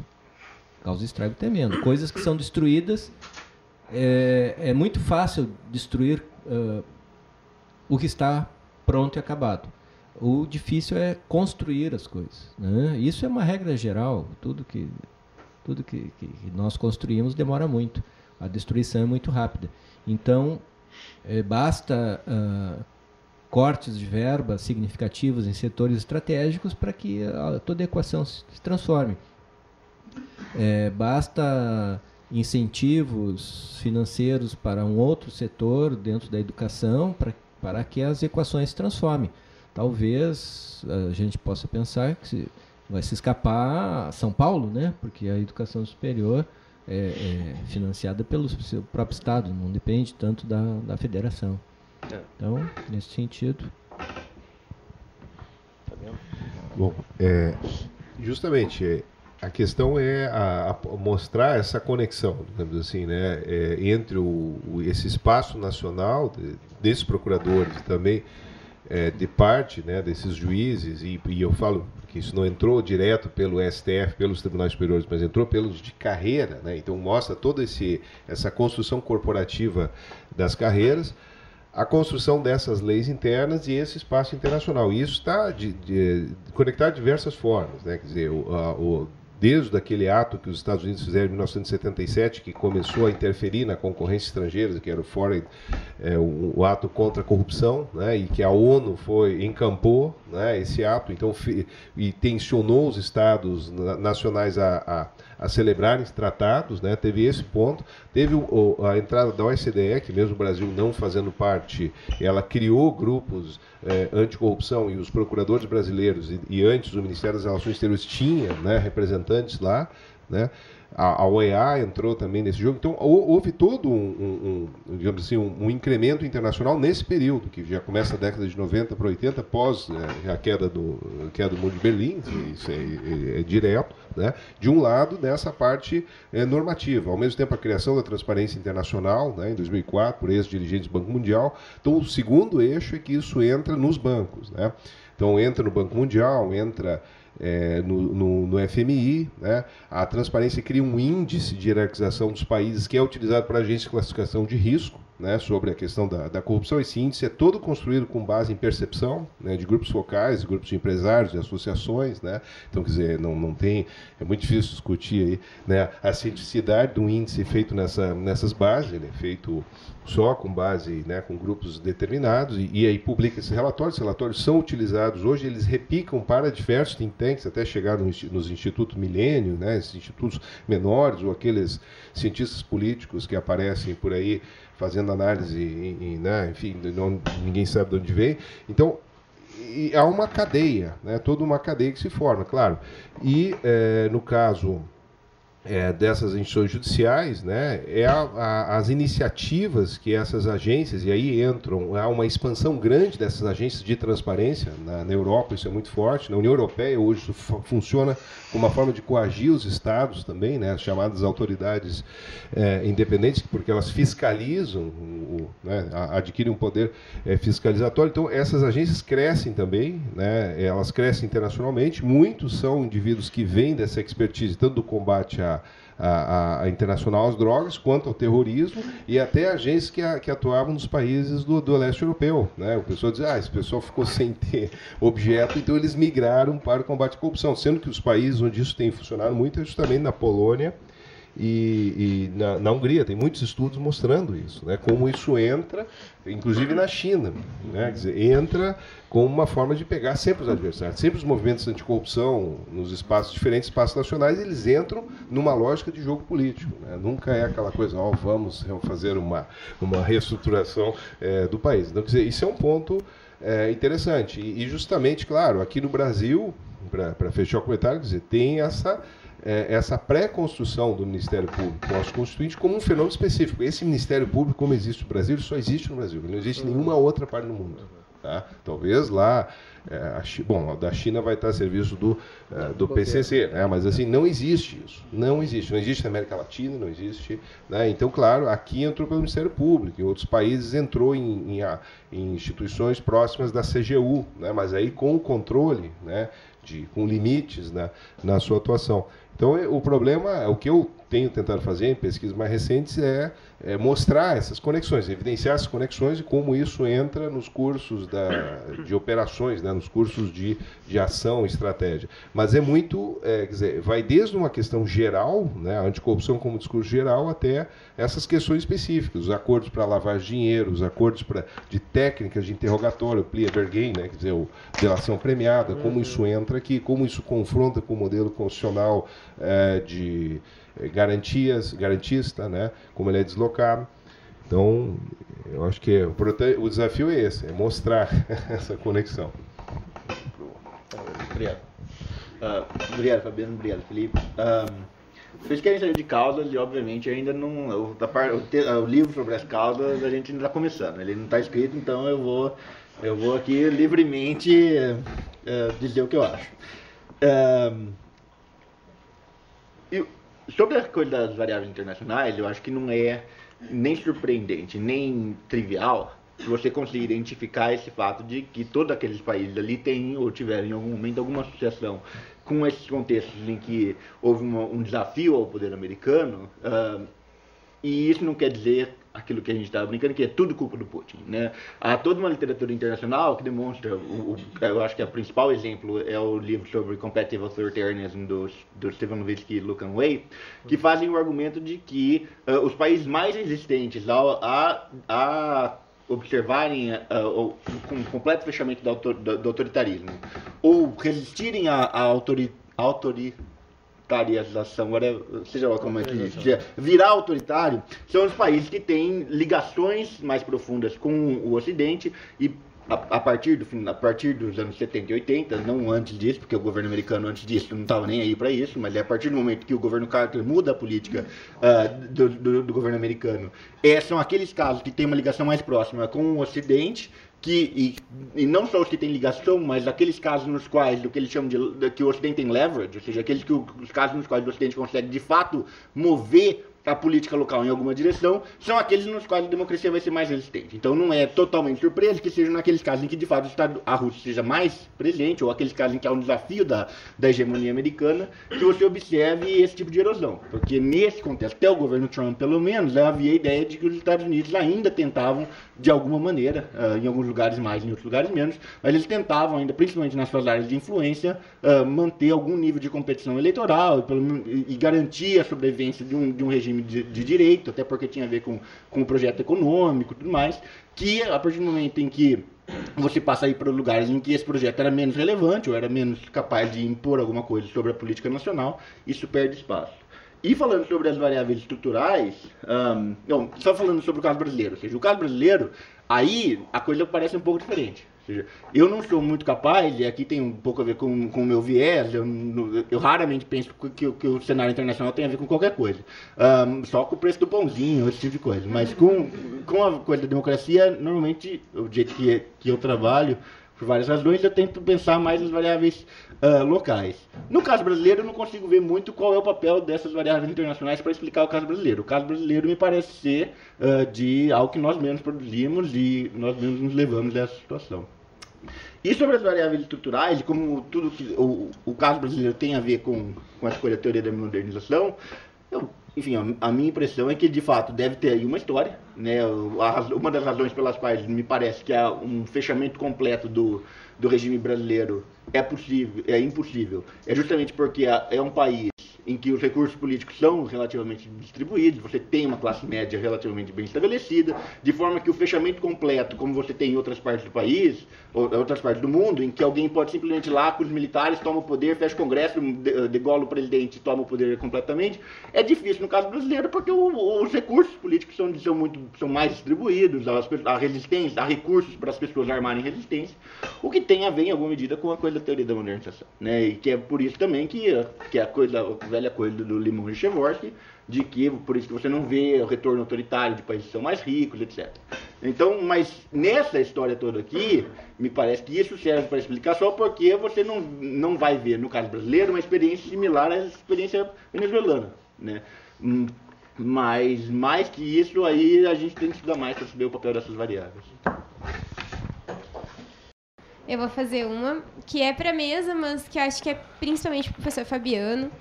É, uh, tem uma questão atual assim na democracia brasileira que eu acho que tem a ver com a democracia também, que é um, o modo como o, o, judiciário em geral e os juízes, principalmente no Supremo, se transformaram em celebridades. Né? É curioso, caso como no Brasil, a gente conhece esses juízes. A gente sabe quem é o Barroso, quem é o Gilmar Mendes, né? E em outros países isso é raro. quase ninguém sabe quem é a Corte Suprema, quem, né, o que, que acontece, é uma coisa mais rara. E a gente até estava conversando sobre isso com outros professores em outros momentos, e é uma questão assim que realmente nos deixa com uma pulga atrás da orelha. Né? Por que, que no Brasil aconteceu esse processo? Se isso está de alguma forma ligado com isso que o senhor falou de judicialização da política, e se isso se deve, talvez, a uma transmissão televisiva né, do, das audiências pela criação da TV Justiça nos anos 2003, 2002. Né, o que, ou se foi na, na, no episódio do Mensalão, com Joaquim Barbosa, que também ficou conhecido, Batman brasileiro. Né? Então, por que aconteceu isso? Se tem uma ligação com o que está acontecendo com esse processo que tu falaste. É, porque isso me intriga, assim, principalmente quando a gente faz uh, uma comparação com outros países, de como que isso funciona é, em, outros, em, outros, em outras regiões. Eu queria fazer uma pergunta. Eu queria fazer uma pergunta para o Gustavo. Porque um, eu, eu fico muito curioso e eu não entendo um, sobre o funcionamento do Congresso, então uh, eu queria saber de alguém que entende.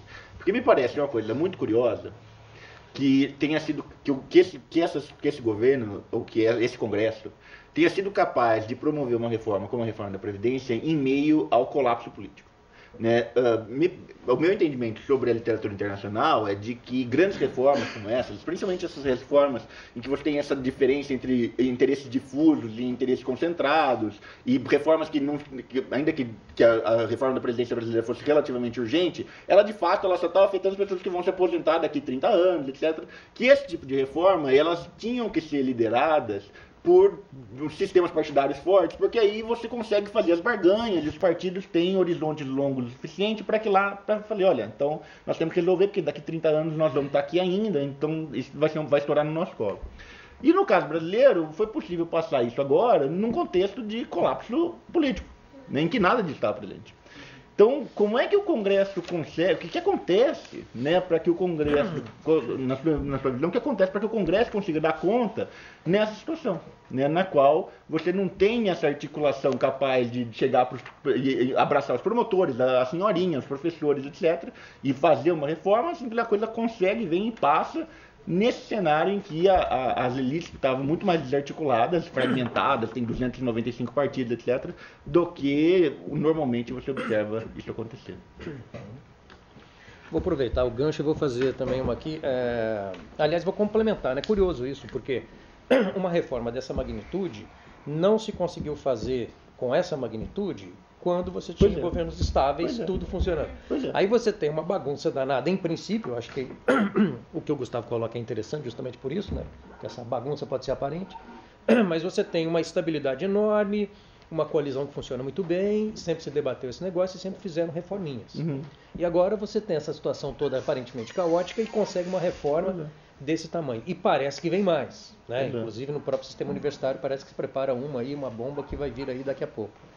Então também isso é interessante para complementar. E a outra é para o Fernando. Fernando, é, aproveitando essa, essa, essa, essa deixa aí, né, digamos, é, na melhor das hipóteses pessimista sobre os possíveis desdobramentos do caso brasileiro, eu te perguntaria se dá para você, a partir dos dados que você já tem e tal, é, é, antecipar o seguinte: houve casos é, de recuperação depois do retrocesso? Quer dizer, há casos ou houve casos em que, depois de um retrocesso tão grande, ao invés de caminhar para mais retrocesso ou estagnação de uma democracia de baixa qualidade, houve uma recuperação? Uhum. E segundo, há um ponto de não retorno? Quer dizer, há um ponto a partir do qual aparentemente se estagnará no retrocesso ou é, pior, a, a, situação vai ficar pior ainda nesse, uhum. né, nesse, nessa ladeira abaixo do, dos indicadores de democracia. Uhum. Vou começar pelo Gustavo. Sim. Bom, uh, eu acho que a percepção de que no caos a reforma passou é porque, na verdade, a gente sempre trabalha com a ideia de que os partidos eram bem estruturados antes. O, o presidencialismo de coalizão sempre foi isso e não está fazendo nada de diferente do que era. O, era um caos antes. Era um caos, por isso que as coisas andaram. Uhum. Eh, já funcionava da mesma maneira. As filiações e as disciplinas partidárias eram parcas. Eu não concordo, nunca concordei com a posição do Limonge e da Argelina de que as coisas funcionavam uh, bem. Uh, já na, desde a minha tese em Uhum. 2003, eh, havia uma, um custo muito alto de formação da coalizão. Tu precisava aumentar muito a coalizão por causa da indisciplina dos partidos. Não bastavam os, o, a, a otorgar, eh, eh, dar, oferecer cargos, não bastava emendas, não bastava isso, não bastava aquilo. É, é uma balbúrdia. É uma balbúrdia. Lá sim tem balbúrdia. né? Ah, é muito custoso todo esse processo. Eu acho que o Maia fez milagre. Fez milagre. Porque, eh, de uma certa maneira, eh, ele conseguiu. E aí vem a questão que eu estou querendo colocar. A forma como o ah, Bolsonaro se relacionou com o Congresso instigou, instigou o próprio Congresso a se colocar na linha. Porque ele entregou a peça e disse assim: olha, vocês são a velha política, vocês têm a responsabilidade de decidir esse negócio. E está dentro, justamente está dentro da legislação. Uhum. Não tem nada de novo ele dizer isso. Não, é, é, isso é que os outros presidentes não fizeram. Uhum. É, a bola está com vocês. E aí se dirigiu para a população. A bola está com eles. O que, que eles vão fazer desse negócio? Uhum. E este jogo que o Bolsonaro quebrou em relação aos antecedentes. Porque os antecedentes, os antecessores, é, não buscavam essa interpelação direta. Certo. Eles ficavam tentando articular por dentro do Congresso. A articulação era, era partidária e era por outros caminhos. Né? A- a- o processo de emendas é fantasticamente é, é, criador de cooperação. né? Ele, ele, por si, o regramento dele leva à cooperação. Então bastava essas coisas, e cargos com grupos, e cargos com, aqui, com outros grupos, contratos, não contratos, facilitações, colocar fulano, beltrano em certos tipos de empresas. Então era uma parafernália de eh, interesses que eram administrados pelo presidente num sentido. O Bolsonaro quer se livrar desse tipo de coisa e ele fez isso. Ou seja, na, na minha avaliação do momento presente, o Congresso assume para si essa responsabilidade porque foi interpelado e estava diante da sociedade ah, no seguinte, foi colocado diante da sociedade no seguinte sentido: ou decidam ou paguem o ônus de inviabilizar o meu governo. Né? É, e por isso que eu digo, não estão perdidos. O jogo está sendo jogado de caso pensado. Não digo uma conspiração, não digo grande projeto que tudo se encaixa. Tem trancos, barrancos, quedas, eh, mas tem uma direção, tem uma lógica dentro disso. E ah, a- a- a- eu julgo, pelo menos, que as coisas estão bem estão tão bem concatenadas que até o Mourão desapareceu. Uhum. né? Eh, Foram tirados os generais, os militares estão quietos, né? Não se sabe o que, que vão fazer daqui para frente, e o jogo está sendo jogado. E o governo vai se dar bem nisso, sim. né? O- a sociedade brasileira vai pagar o seu custo, eh, a maior parte daqui a alguns anos, né? Eh, mas também a gente esquece o seguinte: eh, eu- eu- eu- nesse debate da Previdência, eu acho que é, é um bom debate no sentido de catalisar. Ah, Não as da capitalização. Não, de É catalisar. Ah, catalisar. Me assustei aqui. Discussões. Catalisa assustei. Ou seja, é, por que, que o PT não resolveu isso antes? São 16 anos de governo, fizeram umas reformas pífias, né? no mesmo sentido que o mercado queria. É, agora estoura de novo essa, essa josta aí na- nas costas do trabalhador. Bom, esse é, um, é um primeiro, uma primeira questão. Ah, a outra questão que eh, a reforma enseja é que não se está se dando, prestando a devida atenção para as transformações no mercado de trabalho brasileiro.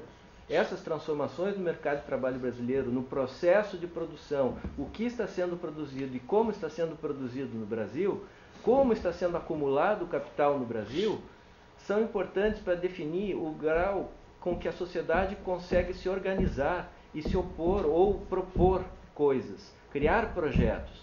A esquerda está sem projeto porque ela se distanciou deste mundo. E este mundo atualmente é muito fragmentado.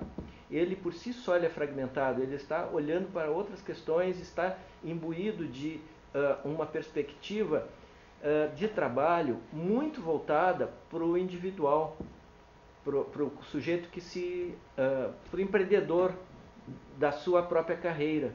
Né? É, mesmo as empresas que tentam introduzir métodos modernos e coisa e tal de, de, funcionamento, eles estão voltados para um sujeito que é empreendedor da sua vida. Né? E isso é uma modificação do próprio processo de trabalho. Não tem mais o, o trabalhador que quer um emprego com carteira assinada e com estabilidade. Uhum. Isso desa está desaparecendo. Por quê? Porque a, so a sociedade já vive isso. Essa precariedade do trabalho já é vivida. Então, quando vem uma reforma trabalhista, ninguém resiste. Quando vem uma reforma previdenciária, ninguém resiste. Porque aconteceu alguma coisa nessa sociedade que não está se dando conta e que altera a sua forma de expressão política. Uhum. Né? Então, são questões que eu, que eu coloco no sentido de que, bom, exige investigação, exige pesquisa, exige avançar. Né? Então, mais ou menos eu vou para aí. Eu vou deixar outra pergunta para eles, que eu não me sinto. é, é, é, essa questão das celebridades, bom, são celebridades, dado o pequeno número de, de atores no STF e, e, o, e, a, e, o, tamanho das demandas que chegam, é, é, quase normal, digamos, uma sociedade de espetáculo. Né? Isso já é velho, é a questão da sociedade de espetáculo. Tudo se transforma em show. Uh, então, e aí, aí, o cálculo também desses atores passa muito por isso, né? certos atores. Alguns outros não dão bola para isso. Né? É, pessoas como o Marco Aurélio, por incrível que pareça, eu, eu nunca pensei que ele fosse dizer isso. Marco Aurélio, do STF, é um sujeito que se colocou à parte desse tipo de, de, de questão. Né? Quem diria? Uh, então, eu acho que o, os outros são mais uh, preparados para essa questão. Para mim é, é, é, jogada política, é, fazem parte como atores e, bom, uh, processo de judicialização é, caminhou para um... Eu, eu tenho opiniões pessoais e não dizem respeito à pesquisa. Essa, uh, houve um passo adiante talvez o Fabiano saiba uh, dizer melhor dessas corrente, dessa corrente. É, houve um passo adiante, saímos da judicialização. A judicialização é coisa do passado. É, pa, pa, partimos para o protagonismo dos juízes. E foi feito pelo Barbosa. O Barbosa que iniciou toda essa lambança. Né? Na minha é, parca percepção sobre coisas que eu não conheço. Né? É, foi o Barbosa. O Barbosa que iniciou essa, esse negócio porque ele conseguiu ah, justamente representar certo tipo de, de aspiração de setores da sociedade sobre o móvel da corrupção. Então, a, a, corrupção nos assombra, nos assombrou no período getulista, nos assombrou no período do Collor e vem nos assombrar agora. Né? É um problema esse negócio da corrupção, não apenas por ela existir, mas pelo que ela pode causar eh, como instrumento de disputa política. Né? É isso. É, essa, essa questão do, da, cele, da celebridade é interessante de, de, vários aspectos. Tem essa parte aí do, do espetáculo, até a criação da TV Justiça tem alguns trabalhos que mostram alguma relação assim na, nas mudanças, é, na forma de apresentação dos votos, até na, no acirramento de embates que antes eram tenderiam a ser mais, mais frios no âmbito do plenário do STF, né? quer dizer, tem esse, é, esse viés.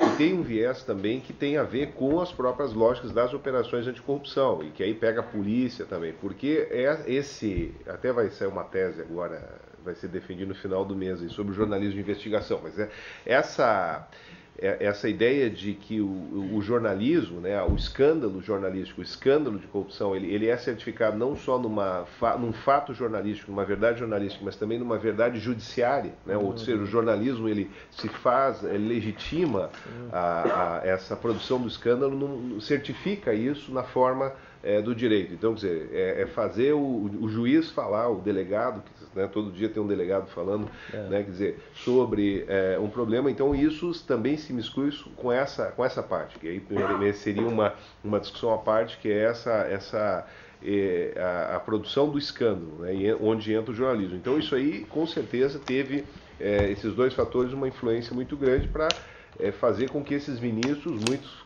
passassem a dar declarações, passassem a falar e, e, aí entrar num jogo que transcende muito aquela ideia que é a, que está até no código lá, o esquecido código ético da magistratura, que é o dever de reserva e tal. Isso existe objetivamente, né? Então, quer dizer, fazia parte de uma deontologia e tal, e tem vários, dezenas e dezenas de livros sobre isso e tal. Bom, então esse é um ponto.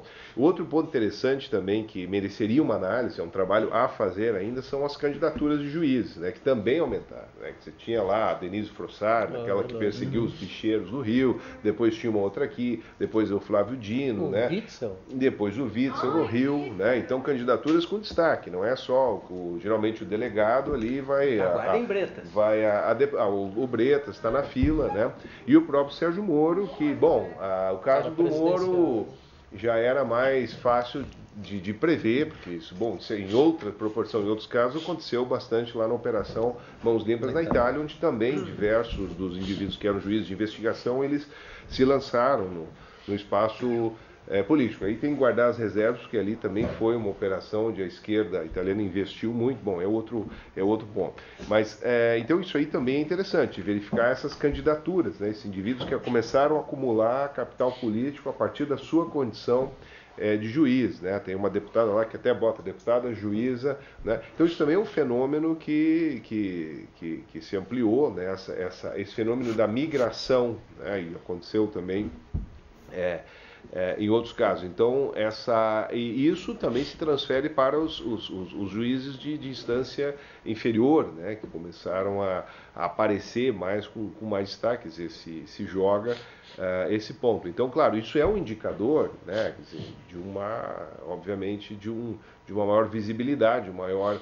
É, digamos assim, o, maior crédito político que esses agentes vão, é, vão ter no, no espaço. Dizer, poderia contrastar, por exemplo, com o caso colombiano, onde, onde sequer os dados públicos, não existe dado público é, dos juízes, por conta de todos os processos lá da criar a figura do juiz sem rosto, né, os procuradores. Então, esse é o caso na América Latina mais contrastante. E, Colômbia? E, é, é, na, é, na Colômbia, por causa da do, do combate às drogas. Quer dizer, então existem outros modelos, ou até o Chile também, que é um pouco eh, próximo desse modelo, que quando são judiciários muito autocentrados, fechados, que não entram no, no jogo político diretamente. Então, dizer, existem modelos muito diferentes aí do caso é, é, do Brasil. Agora, o, o, grande problema é esse, quer dizer, esses indivíduos eles adquirem essa condição, mas eles não passam pelos circuitos de legitimação eleitoral, dizer, né, como o caso lá do modelo americano que é misto, então tem juízes que são, são eleitos ou que estão lá, né, precisam responder muito mais. Então, esse, isso que eu acho que é o ponto, é um ponto muito central. Né, dizer, tem categorias que são indivíduos que estão lá numa posição que é com um grande um capital político, mas que estão fora de um circuito de, de responder é, por isso e que hoje rompem todos esses códigos deontológicos, se manifestam, a política agem, né? Então isso realmente é um fenômeno mais, é, poderia-se dizer, um pouco mais recente, né? porque isso ficava, por exemplo, na década de 90, principalmente, início da década de 2000, mais restrito ao, aos tribunais superiores. Né? Então tinha essa figura do juiz de primeira instância, segundo já, né? porque isso também aí tem que, é, tem que entrar um pouco. Bom, colocando isso numa análise mais geral, né, quer dizer, havia sempre o, o indivíduo que é recrutado para o STF, ele era, digamos assim, um final de carreira de um ex-ministro da Justiça, de alguém que tinha prestado muito serviço para o, né? Então, algumas análises até traziam isso, bom, há uma tendência a maior profissionalização nas indicações e tal. Então, isso agora se mostra também é, um pouco um, um, efeito contrário. Né? Esse é o problema também da gente, a gente pensar em, assim, num aspecto evolucional né, do, do regime em direção a uma a um, a um, modelo, é, né, dizer, é uma oscilação. Né, o que está acontecendo em termos de recrutamento agora está mostrando também uma maior ligação com esse, com esse espaço político. Né? Bom, que é. faltou. Obrigado. Eu vou pedir desculpa, Carol, eu não vou falar sobre o STF, ainda mais gravando. Uh, eu não sei nada sobre isso, então essa aí eu vou passar. Uh, agora, houve caso de recuperação? Não. Na, na, na, experiência democrática não há caso de recuperação. Ou você quebra ou você continua de baixa qualidade. Não há caso de recuperação a partir desses dados. Eu acho que e, dois uh, casos que são parecidos com o caso brasileiro, mas aí a gente tem que discutir eles qualitativamente, porque eu não tenho uma discussão um pouco mais uh, quantitativa a partir deles, semelhante a essa. Que são, um é o caso da Itália, Uh, com, com, com, a experiência das mãos limpas, e aquele que é, na verdade, o que eu acho o caso cujo paralelo com o brasileiro é mais interessante, que é o caso do americano sob o período do progressivismo, que é, ou seja, o, america, o caso americano no começo do século XX. No começo do século XX, é um, um movimento dos Estados Unidos, um movimento do progressivismo, que, que era, era a, a Lava Jato falando inglês, né? ou seja, era, era ali um, um processo de limpar as máquinas partidárias, de excluir os partidos da, da da, da, da, dinâmica política, de, de, que eles eram identificados imediatamente com a corrupção. Eles eram extremamente corruptos, não era era uma, uma não era uma fantasia daquele, da, da, daquele movimento americano. É, os partidos americanos eram os partidos das grandes máquinas de imigrantes, eram, eram extremamente corruptos. E aí você tem um movimento chamado de movimento progressivismo, do progressivismo que tenta então uh, limpar a política americana por dentro. Né? Eles lançam candidatos e vão perseguir os políticos, vão perseguir os partidários, vão fazer uma série de mudanças, por exemplo, eles vão remover da, da, da, do, do, do, ballot, né, do, do, papelzinho que você vota, o nome do partido, né, para que as pessoas não votassem no partido, votassem em pessoas, né, que é uma história que a gente ouve, eles removem o nome dos partidos da, do, do, da, da cédula eleitoral. Então eles vão fazer uma série de medidas que vai levar ali a uma, uma desorganização da política, principalmente no nível local, né, e que de fato limpa em alguma medida a política americana, ela ajuda a política americana a se tornar menos corrupta naqueles primeiros 30 anos, mas que de fato só vai levar a uma reorganização da política americana 20 anos depois, independente do progressivismo. Né? Ou seja, a única coisa que vai reorganizar a política americana é a crise de 29 e o New Deal, né? que é separar, é outra coisa. Né? O que o progressivismo faz é vir e ele, meio, ele limpa o terreno, né? e aí fica uma confusão por uns 20 anos, uh, até que alguma outra coisa vem uh, e e ocupa o lugar. Então seria possível imaginar, uh, eu acho que esse é um paralelo interessante para pensar o caso brasileiro, que talvez, ao não quebrar, o Brasil se aproxime desse tipo de experiência em que você tem ali uma. Pode ser que você tenha ali um desarranjo da política, e aí a coisa que vem depois ela é independente do desarranjo, da coisa que gerou o desarranjo da política. Alguma outra coisa vai, pode gerar um, um rearranjo, mas a experiência internacional mostra que ele não é um rearranjo que vai acontecer em 2020. Né? Ele vai então a destruição criativa do Barroso é de longo prazo. É isso, é uma coisa assim que vai, vai longo demorar. Prazo. Pode ser, a, gente, a gente tá ansioso, e, é de longo quando, prazo. Como vocês vão demorar agora 50 anos para aposentar, quando a gente. Não, nós não vamos, aqui, não vamos aposentar. Quando eu voltar aqui, aí talvez a coisa tenha consertado de novo. Talvez, talvez, não vamos. Tá, obrigado. Bom, é, avançamos um pouco no horário, até porque tem o horário aí para gravação. Vou encerrar é, agradecendo imensamente os participantes aqui. Achei que foi um debate excelente. É, espero que todos tenham gostado também. É, agradecer então normalmente o Gustavo, o Fabiano e também o Fernando, né, em especial o Fernando, que veio de tão longe, não só para isso, mas acabou nos, nos dando prazer aqui de conhecer os desenvolvimentos das pesquisas que ele anda fazendo agora. Acho que essa, isso aí vai sair daqui a pouco também, esses, uhum é, que é bastante interessante do ponto de vista comparado. Né? E agradeço, então, uns agradecimentos finais, agradecimento aqui ao, ao, ao, ao programa de pós-graduação, na, na, na, pessoa do, do, nosso coordenador, o Fabiano, pelo apoio, uh, também o IFCH, que também deu bastante apoio para a gente, e o pessoal do SEAD, que está fazendo a gravação, e que depois uh, vai ficar disponível online a gravação dessa mesa. É, em breve vamos fazer outras mesas. Teremos em breve uma colega da Argentina que vai estar aqui, acho que a partir de setembro. Vamos fazer uma discussão sobre a Argentina, comparando outras coisas. E, enfim, vamos informá-los a respeito desses próximos eventos. Muito obrigado, obrigado a todos. Até a próxima.